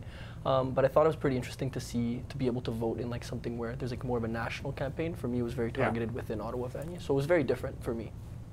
John, uh, we should talk about voter turnout. It was down from 2015, uh, but uh, but not by much. No. Uh, and there were people who thought it would be down more than that. Uh, 2015 was a big bump from the previous couple of elections. So uh, it was still this the voter turnout this time around was about 66 percent, which was still higher than the the 2011 and 2008 elections. And it's encouraging um, in this way. So yes, uh, generally speaking, turnout had been declining since the 1980s yeah. um, in Canadian elections, and had gotten to around 60 percent um, in the last decade. Um, it was, I believe, 60, 61 percent in the 2011 election that produced a conservative majority government.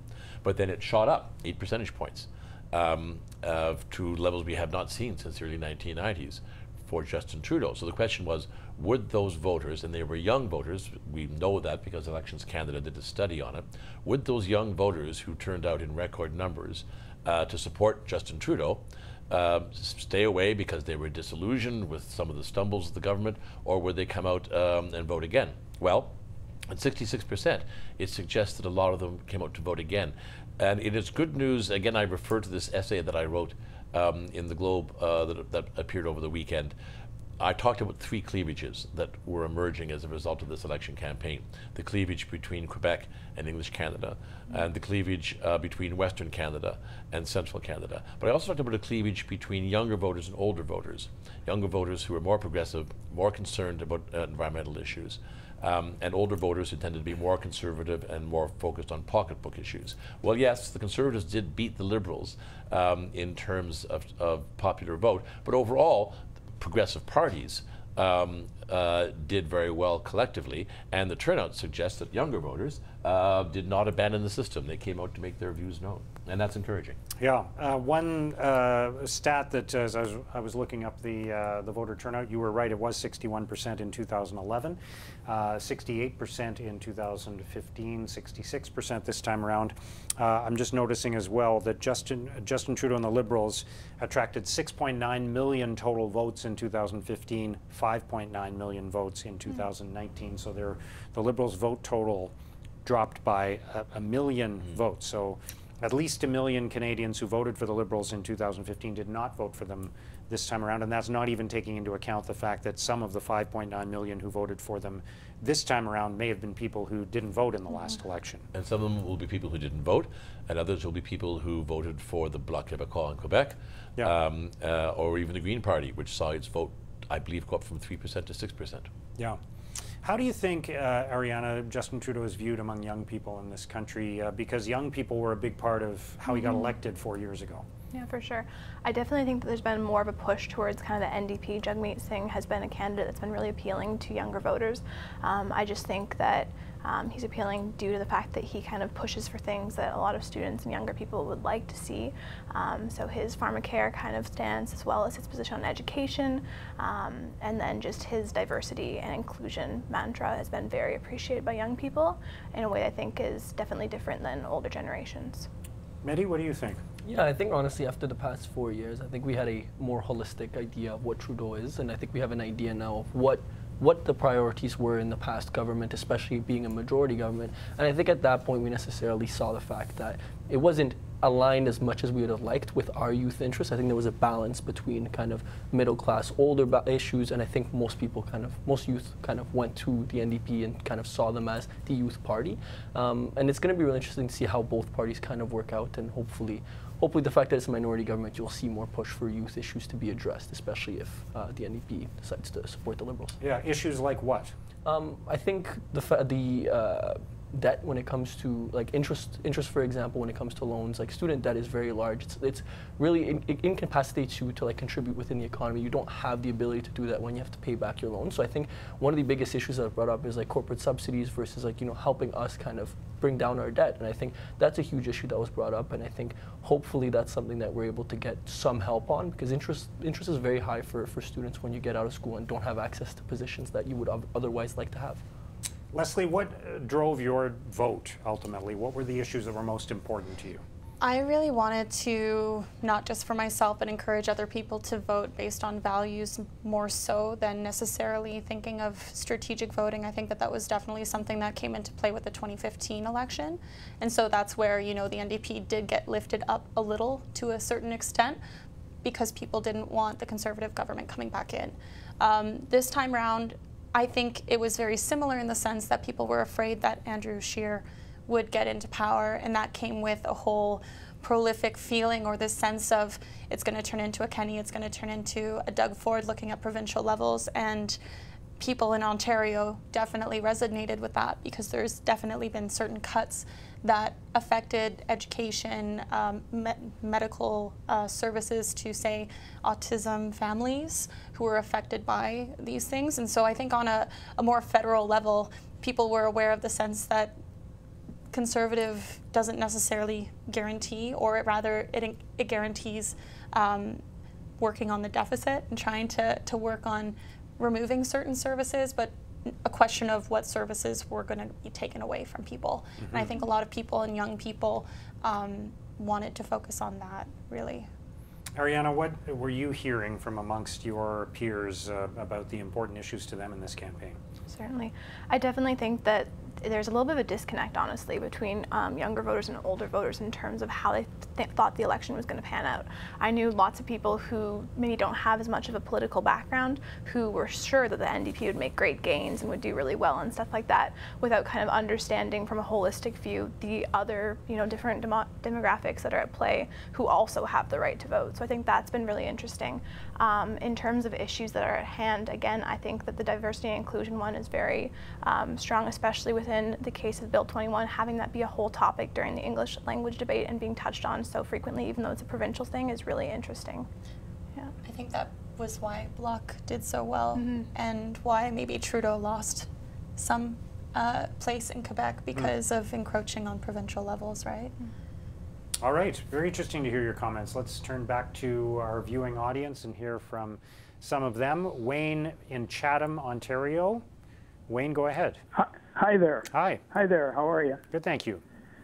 Good. Um, the election, well, it wasn't really much of a surprise, anyways. Uh, but the best part of, of the whole 2019 election is the fact that Jody Wilson Raybould won her seat as an independent. And that is brilliant because it showed the voters knew what to do. They wanted to reward honesty, integrity, trust. And the fact, I don't think it mattered whether or not she was uh, uh, heritage from Native Canadian or not. Um, it's basically she should be on a $10 bill now in Canada hmm. just for fighting for her rights, just getting right up there and honesty is, is the best policy, regardless, right or wrong, uh, whether it's in the eyes of others or not. She was wonderful. She did not uh, diss anybody. She just said, I'm going to work as an intermediator between everyone. I think that's beautiful. And that right. uh, showed honesty basically for, uh, let's say, for young people, for old people.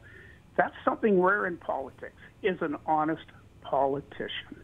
And, you know, we're so lucky in Canada here to have somebody like that, an honest politician. I think that's wonderful. All right, Wayne, thank you very much for your call. Now, John, uh, uh, of course, there were a lot of Canadians who didn't get to vote in Vancouver Granville who would have been cheering on Jody Wilson-Raybould and hoping that she did win. Um, and I don't want to be cynical about this, but uh, in the end, uh, what does that mean in terms of the Parliament moving forward? She's, she's only one vote. It's not a vote that's needed for any legislation to pass. Uh, so uh, and we've seen historically in the past how independent MPs often disappear into the woodwork. yeah, Parliament and Hill. that may well be the case here too. I'm afraid. I think there are also people who were sad that Jane Philpott, um, Yep. who left and also ran as an independent in solidarity uh, with Ms. Wilson-Raybould, didn't uh, prevail um, in her Ontario riding. But uh, Jody Wilson-Raybould is formidably talented. She's going to discover that she doesn't get to ask questions in the House of Commons almost never. The Speaker may, you know, once in a blue moon, um, uh, recognize her and allow her to ask a question. She's not going to be on parliamentary committees. She's not going to be able to argue things in caucus.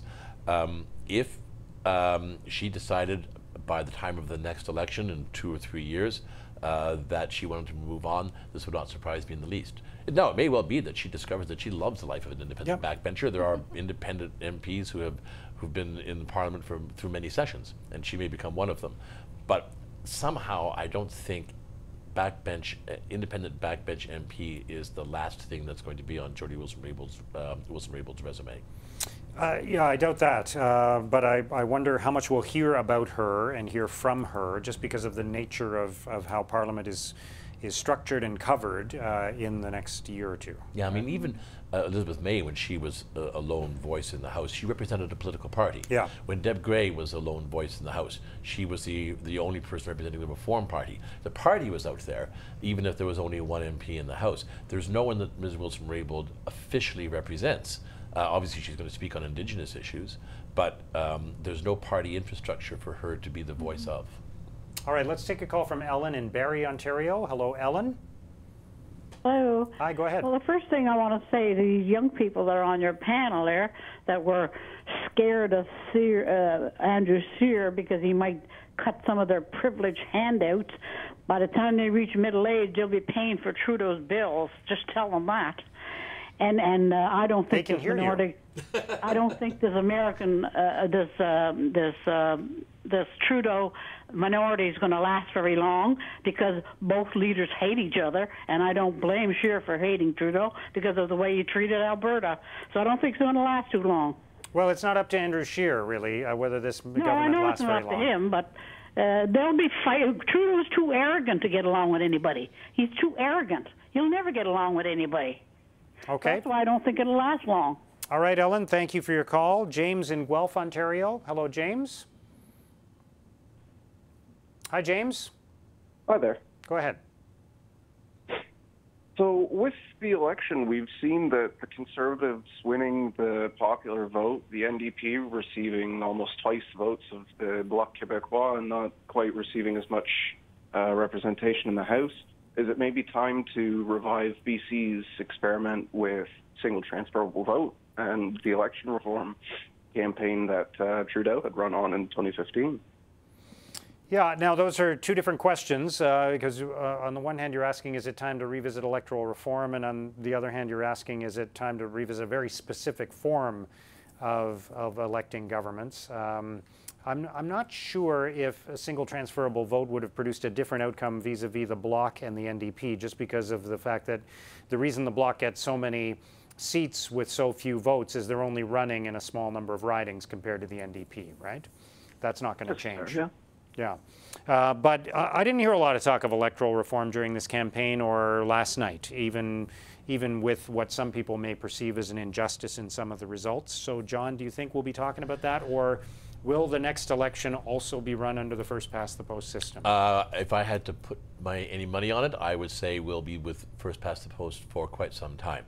It might have been in the interest of the NDP, certainly would have been in the interest of the Green, to make any support um, in the future going Yep. forward contingent on forcing the Liberals to live up to the promise that they made in 2015 and then broke, because they were the ones who said that would be the very Yep. last election that was done with first past the post.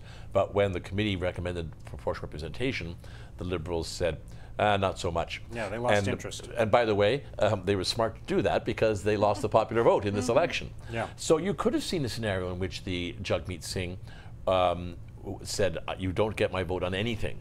Until proportional representation is your first bill. But then uh, the Liberals just go to the Conservatives. Uh, or in this case, go to the Bloc Québécois, because it's not in the interest of the Bloc Yeah. to move to PR. So I think PR is a dead issue at the federal level for a while. Yeah, it is interesting, though, that if the Conservatives had gotten behind some form of electoral reform, uh, like proportional representation, they uh, might have been better off this time around. They, I don't think they anticipated that. And having said all of that, of course, when you change the rules, you change the behavior and the outcome. So we can't just say the election would have been the same with the same people voting for the same parties if the rules were different, right? Yeah, but, um, but most conservative strategists are aware that there are, in the universe, more progressive than conservative Yeah. voters in Canada. And it tends to, yeah, it proportion, proportional representation is not going to work in their favor in the long run. Uh, Peter is in Strathmore, Alberta. Hello, Peter. Hi, how are you today? Good, thank you. Just a couple quick questions.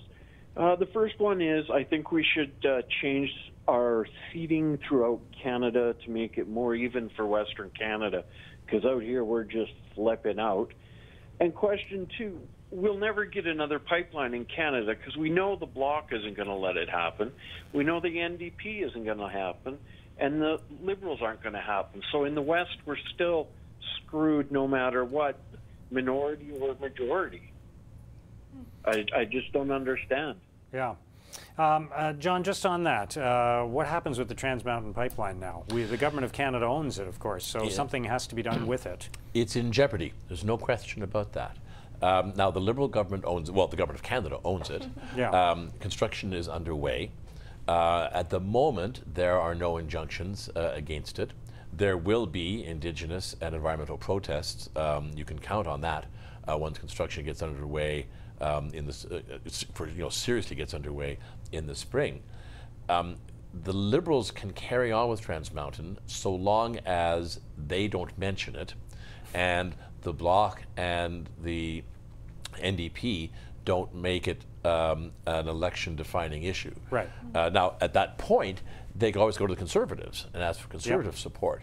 But Does it need the- to be supported in the House of Commons, or it, at the moment, no. Yeah. As long as nothing happens, uh, it can it can carry Right. on. It would require the opposition parties to make it an issue and say we will not vote for your budget unless funding for the Trans Mountain Pipeline is cut.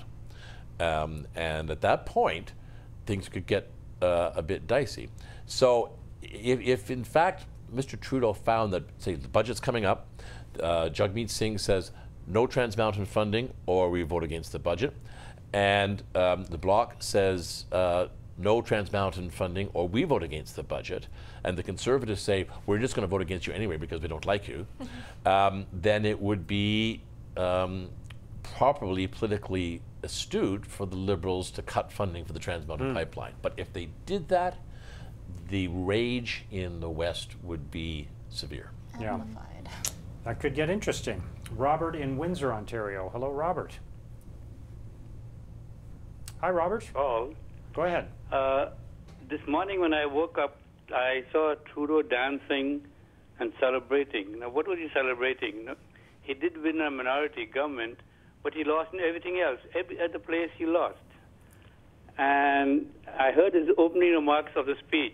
And how can Canadians trust this guy when he opens with a speech from coast to coast to coast to coast to coast? Canadians have decided. Now, Alberta doesn't have a coastline, so are you not calling them as Canadians? Well, I, I think, look, uh, let's let's not parse words here. I, I think when you say from coast to coast to coast in Canada, you're including everything between the coasts. You're not saying only the provinces that have coastline. Exactly. So, when that's not true, because the western provinces didn't decide on what is saying. And then the next thing is, I just came. I was looking, I was doing some research, and I came across a, I came across a article in from the Calgary Herald from 3rd of October, and it tells me that the deficit is rising by 2.26 million dollars a day, which is about 54 million dollars a month. And you multiply that by 365, oh no, uh, 12, and then multiply with another four, four years of Trudeau's government, plus add is another 80 billion dollars to the deficit. My grandkids will have nothing, or my kids, maybe my kids will get older, they won't have any health care, they won't have nothing. And since 1990, the, the, the interest paid is $988. Could you imagine if Canada had that money to spend on its citizens? Where would we be? Okay, thank you very much for your call. Richard in Vancouver. Hello, Richard. Hi, how are you? Hello. Go ahead. Hi, first off, uh, being from BC, um, we won't let the pipeline happen. I know that's not going to happen, and it needs to not happen. But that being said, they need to stop ignoring these people in Alberta, and they need to do something to help them out and transition and take their skills and that workforce and put them to work and not forget about them like he did. And I don't blame them for not voting in Trudeau, but I can't believe Scheer got that many votes. That man is not a an adult. He's a tattletaler. Just stands there and says the same thing over and over and over and over again. Trudeau is a lying, uh, arrogant uh, child. Actually, I wouldn't even insult children by calling him a child. He's I don't know what he is. But watching this election was almost embarrassing because these did not seem like responsible, mature adults that should be leading the country. Okay, Richard, thank you for your call. We're also getting lots of emails. Again, the email address is have your say at cpac.ca. We welcome your comments at any time. Let's take a look at some of the emails that we have received.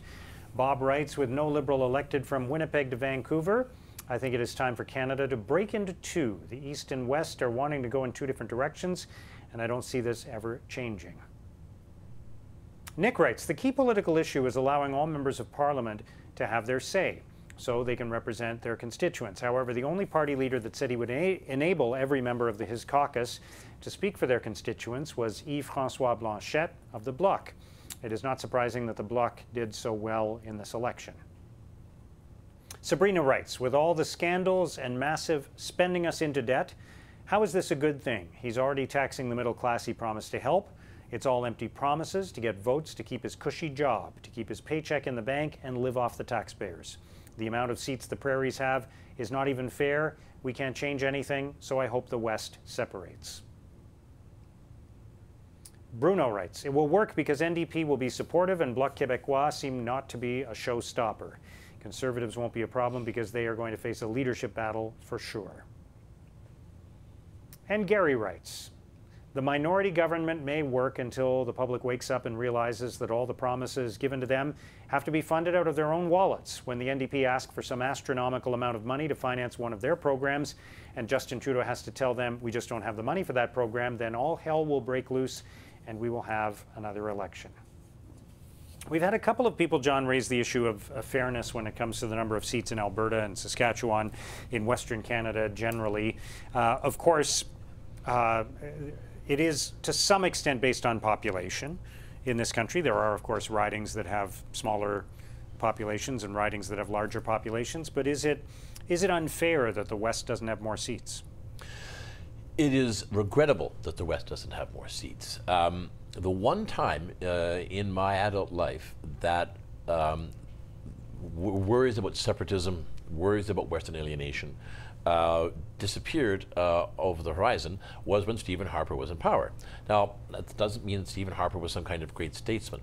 It meant that you had a coalition of suburban voters in Ontario and voters in the West who sustained a conservative government. That was a good, healthy um, kind of coalition to have. It would have been better if it had some seats in Quebec, more seats in Quebec as well, but at least you didn't have um, the sense of Western alienation, and you didn't have Quebec alienation either because the conservative government in Ottawa did not try to interfere in Quebec's jurisdiction. Now you have a government that does like to interfere in provincial jurisdictions, that likes to impose carbon taxes on provinces that, that don't go along uh, with their global warming plans, that likes to dictate health care. Uh, that likes to dictate uh, on, a, on a variety of social issues. Um, and you are seeing, well, guess what? You are seeing the revival of the, the Bloc Québécois in Quebec. You are seeing talk of Western separatism in the West. It is not good for the country. Rep by pop is what it is. Uh, there are more voters in Ontario than there are in Alberta, so Ontario sends more seats. But you do not want to live in a, in a federation in which parts of the federation feel that they're being completely estranged from the rest of the country. And this is one of the reasons why, when people talk about shutting down pipelines, about fighting climate change by leaving the oil in the ground, it makes people so angry. I talked to Brad Wall, the former Premier of Saskatchewan. Mr. Wall said, Imagine if the government said that in order to meet our Paris targets, in order to meet our 2030 targets, that we were going to have to shut down manufacturing in Ontario and Quebec that the Ontario automobile industry would simply have to be restricted right. and then wound down, and that the aviation industry in Quebec would have to be terminated. It's going to cost hundreds of thousands of jobs and it's going to cost many billions of dollars and it will destroy the economy. But look, it's a climate crisis. What are you going to do? That would not happen. It would not be tolerated. But we tolerate the same uh, when we when we say, well, we can't build any more pipelines, yeah. we can't take oil out of the ground in Alberta. Albertans and Saskatchewans, Saskatchewaners, when they hear that, feel exactly the way Ontarians and Quebecers would feel if they were being told that their economy had to be destroyed in order to meet Paris climate targets. Mm. Good points. All right, Nicholas is in St. Andrews, Ontario. Hello, Nicholas. Thanks for taking my call. Um, the question I, I believe was uh, will the uh, will the, the, the uh, minority government be good for Canada? Yes. Um, no, normally, minor, minority governments, I think, are pretty good for uh, the countries uh, where they uh, exist. but unfortunately, I don't think this one is going to work because of the divisiveness within the country. And I think that uh, Justin Trudeau doesn't have the character and the ability to actually um, unify this country. I think it needs somebody else. Um, and uh, going and something uh, from your the last hour, you um, I would like to sort of mention. Uh, yeah, one of the people who phoned in mentioned Pierre Poilievre as uh, should be the leader of the Conservative Party. I mentioned him to you on, on one of your shows two or three weeks ago that I thought he was uh, the man to do the job. He reminded me of Winston Churchill, and uh, because of his oratory, his manner, mannerisms, and he has a killer instinct. So I think he's one candidate that should certainly be considered. Uh, and the other one would be Candice Bergen, because she also has that killer instinct. Because um, uh, um, Andrew Scheer, I think. I, I, like the guy. I like Andrew Scheer, but he doesn't have that killer instinct. He's too much of a Mr. Nice guy. But what I would like to hear from your panel, your young panel and younger panel, um, is. Uh, John is very grateful for that. Yes, thank you for that. I truly appreciate it. Is what what, um, what their thoughts are on having, say, Candice Bergen um, running as leader of the, of the Conservative Party, being a female and do you think do they would they think it would garner more uh, bigger votes, more votes um, in uh, in in the country, and maybe even um, get more people out to vote? Right. Okay. So it'd, uh, it'd be interesting to hear comments on that. Yeah. Thank you very much for your call. Um, I would point out that I think, you know, when, whenever we talk about uh, hypothetical situations, uh, you talk about uh, just what that leader represents. Uh, it's a woman, it's a visible minority, it's not, it's a certain somebody from a certain age group, uh, it's somebody with a certain profile. But it, it, when leaders actually run in campaigns, they're, it's not just about who they are, right? People don't just say, well, I'm going to vote for her because she's a woman. It's about their policies, how they've performed on the campaign, the issues that have come up over the course of the campaign. So when you play this game, you have to acknowledge that, I think. But having said that, uh, are there future political leaders, Leslie, that you think would attract more votes to the Conservative Party? We were actually just talking about this earlier, and it was pretty funny that you mentioned Jody Wilson-Raybould, and everyone is also thinking of that as well. Right. As an independent player, she does play potential significant future roles when it comes to, say, the Conservative Party. She certainly has different aspects of her portfolio that could perhaps align with their views. And if she were to say cross the line or cross the floor, go over onto Mm. that side, I think as an Indigenous woman with visible minority representation, not just being a woman as well, but her portfolio and the merit of her, her position and what she's played already, I think she could be a pretty significant player if she decided to do that. Okay.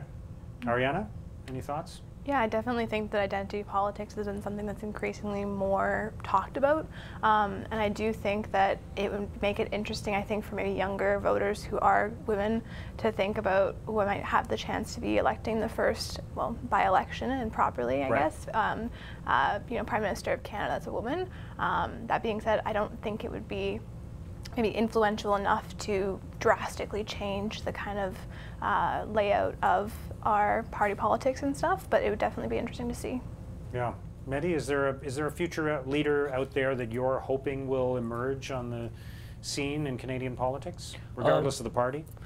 Well, specifically for the Conservatives, I think when I think of what their future leadership should be, I think Rona Ambrose, I think Michael Chong, I think those are the two people that, at least for me, I'd, I, I don't consider myself to be conservative in any way, but if I chose to vote conservative, I think I would go towards someone who's more of a red Tory. I think Rona Ambrose, having been in cabinet, having been the environment minister, also being from Alberta, I think would have some of that representation that's needed there. So those are the two that, in my view, would be good leaders. Do I think that that's where the party's going? I'm not sure. I'm, I'm kind of opposed to Pierre Poilievre as the leader just because he serves as like more of like an attack dog within the House of Commons, and I think that's not the direction the, the Conservatives should go in. So Rona Ambrose and Michael Chong are the two that I would like to see lead the Conservatives. Of course, Michael Chong did run in the last Yes. leadership campaign and, um, and, and finished very poorly. So the, the conservative base had its say. And he, I'll, I'll confess something here. This is what has me walking around the block uh, and around the block and around the block with the dog wondering when we're finally going to get to go home. I agree that the Conservative Party must expand beyond its base. Um, that white, rural, um, low tax, um, maybe not so uh, welcoming to immigrants, maybe not so tolerant on issues of abortion uh, and on LGBTQ rights. Um, and to the extent that the party stays there, it gets about a third of the vote and never grows uh, anywhere past that. Just happened again this time. Yeah. So let us say we need someone who will grow the Conservative Party past that base uh, and, and attract younger voters, attract uh, immigrant voters, attract uh, suburban voters in Ontario. What then happens to the base? I mean, one of the great n- events of this election was that the uh, People's Party, Maxime Bernier's party, got, I think, 1.6% of the vote. That's right. Whatever Andrew Scheer did, he managed to marginalize the extreme right uh, in Canada. The, the, the, the part that says we don't want immigrants, we don't want multiculturalism, we think uh, climate change is a Chinese hoax. They were rendered insignificant. insignificant. If you move the Conservative Party in the direction that some people are talking about moving it, do you then afford a space for an anti immigrant party, a populist, right wing, intolerant, anti climate change um, party that could garner, what, 5% of the vote? 10% of the vote? That could have party standing in the House of Commons, just as we have seen in the United States with Donald Trump uh, and with the rise of nativist anti immigrant parties throughout Europe. That door opens. And I don't have a solution to this, but I want to know how do you broaden the base of conservatism in Canada without opening uh, the floodgates to the creation of an anti-immigrant populist party? So how did Brian Mulroney do it, or was would, did, did that faction not exist in uh, in as large a quantity as uh, in the 1980s? He didn't do it.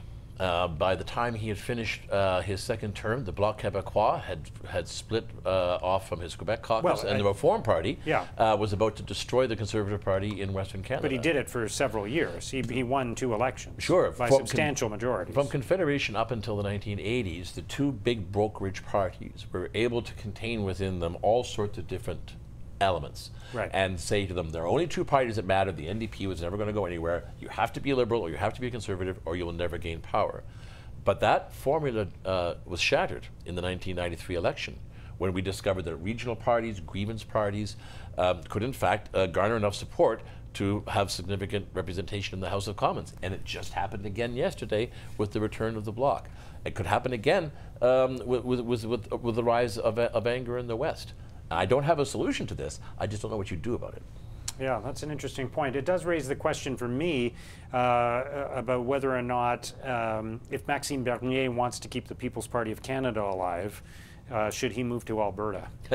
I think the party, if, if and when the party that I'm talking about, uh, a party like Alternative for Germany, the Sweden Democrats, uh, the Brexiters in the UK, uh, the, the, the, the, the people who turn out at Donald Trump uh, rallies in the United States.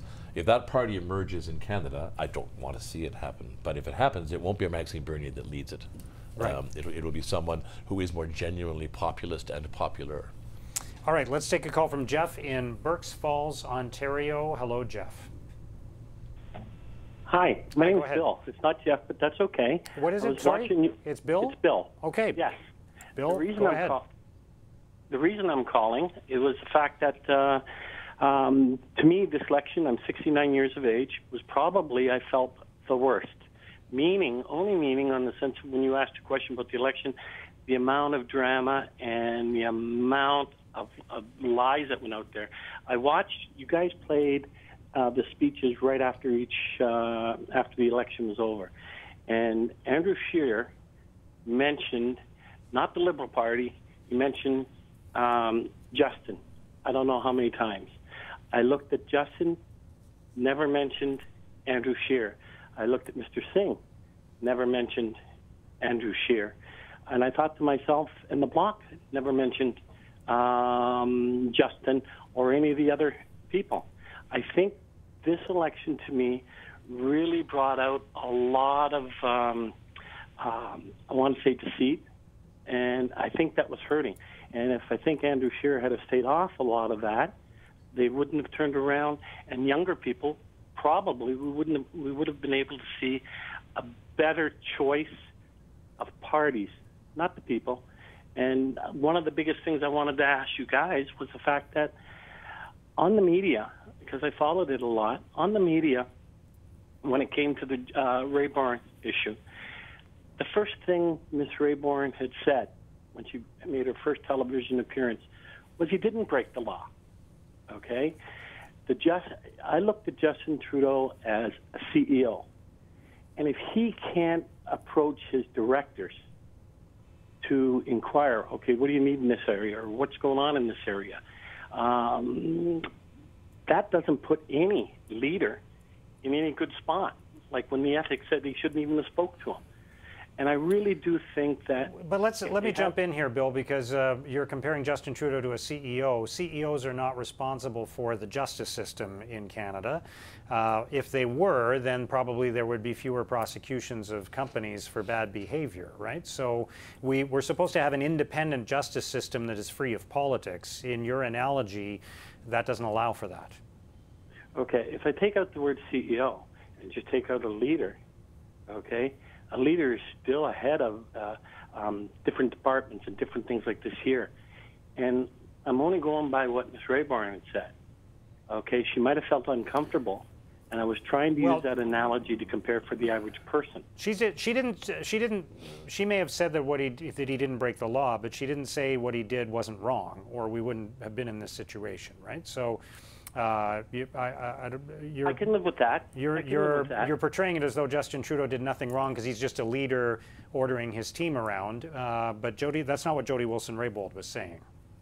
Okay, well, I, I, can, I can live with that. I Okay. actually just took took it, and I was using Sure. that as a layman's I want to bring language. it back to the the election, though. Yes. Uh, Yes. So just give us some I final really thoughts believe, on that. and that's okay. I really believe if, I really do believe if, that they had stayed away from a lot of the dirty play and things like this here, um, because just even up before the day I went out to make my vote, okay, it was still um, the lying, and, and that was brought up. If they'd stayed away from all of that stuff, I think the conservatives, in all fairness, because there's a lot of great conservative leaders that were out there from provincial, from um, the Davis era to um, uh, and and. so and are you saying the conservatives should have taken a higher road, basically? And a little bit more of a Yeah. higher ethic role in the sense of staying away from uh, the mudslinging? right. That's the word Okay. I was Fair enough, for. Bill. Thank you for your call.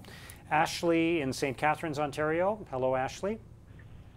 Hi, um, I just wanted to speak to the two issues that were brought up by the um, two previous callers. One about the divisiveness about this campaign and really where our country is left off. It really struck me when Justin Trudeau went and spoke at the exact same time as Andrew Scheer, it kind of seems that there's still going to be animosity built up from this election. I don't see Justin Trudeau having the character to resolve this issue. But also, I find it a sad day in Canadian history when a liberal character like Justin Trudeau has essentially been reelected. The idea that he interfered with the court proceeding, doesn't seem to believe in individual liberty, and now he governs with a mandate that doesn't have the majority of the popular vote. It just seems very questionable, his leadership, in my opinion, and I'm worried about where our country is going to go in the next two years. Okay, thank you for your call. Linda in Calgary, go ahead. Hello, Linda. I just wanted to, to quickly um, let you know that I was listening to BNN, and Tara Weber had said that um, there was 5,000 and change registered with for Wexit, and since the election ended, it's up to 154,000. So that's how much alienation has grown overnight. And um, the website, when it hit 154,000, it went down because it was too many hits at one time.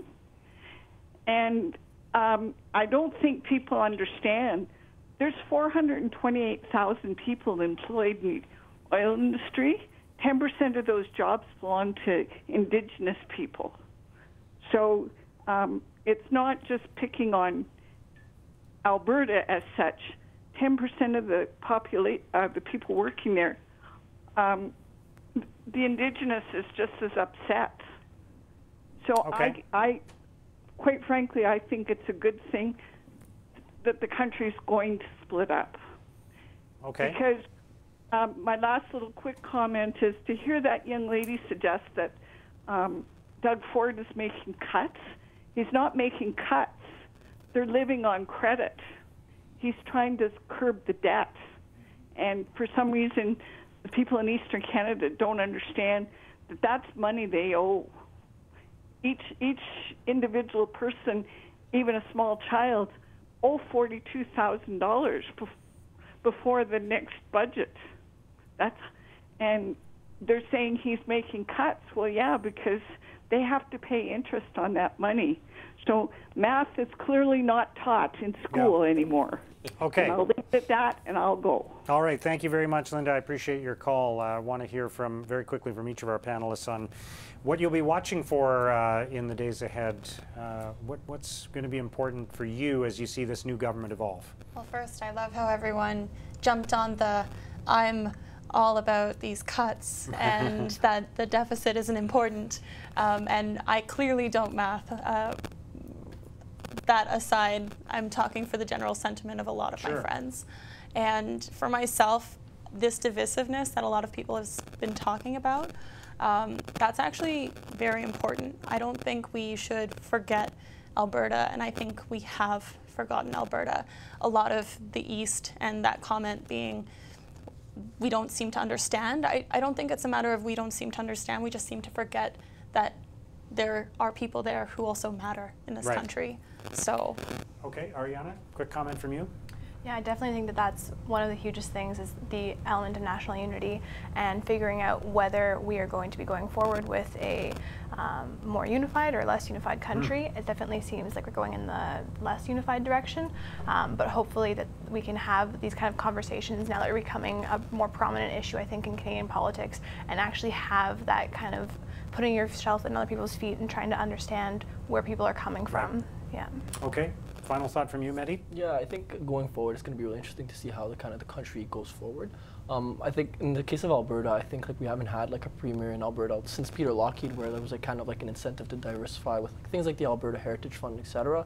I think in the status quo, there's been kind of like Albertans' identity is interwoven with oil, and I think ultimately, even without considering the risks of like climate change and environmentalism, since it's such, such a hot and cold industry, I think it's it's, it's difficult to like go forward with that. Um, so I think ultimately we do have to. The rhetoric has been kind of toxic. I think blaming Albertans isn't the right way to go about it. I think it's it's something where we should incentivize change and diversification of economies. Okay, listen, thank you all for being part of this. It's been great to hear your perspectives. John, thank you as well. My great to have your insights, and uh, we'll see where we go from here. I want to thank you for watching, and I will remind you that we will be back tomorrow at 2 o'clock Eastern Time with another edition of Have Your Say. I'll see you then. Thank you for watching.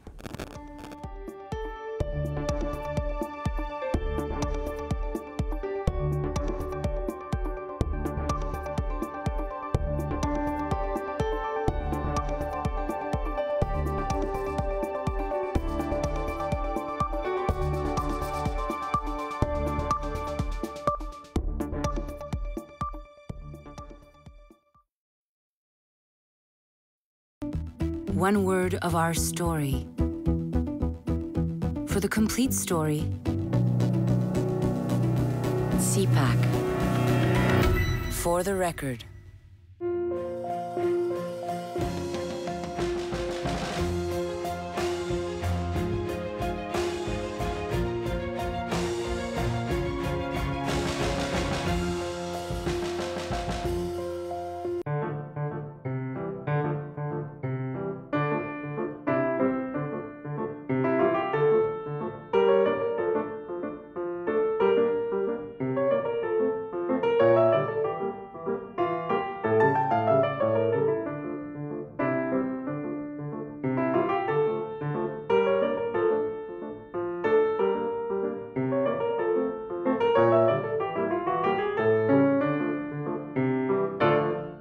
Democracy moves quickly. Stay on top of it with Primetime Politics. Join Peter Van Dusen for the nightly program Canadians rely on. Democracy Speaks on Primetime Politics. See it on CPAC. Your connection to people, to communities, to our country. Your connection to the full story. CPAC, created by Cable for Canadians.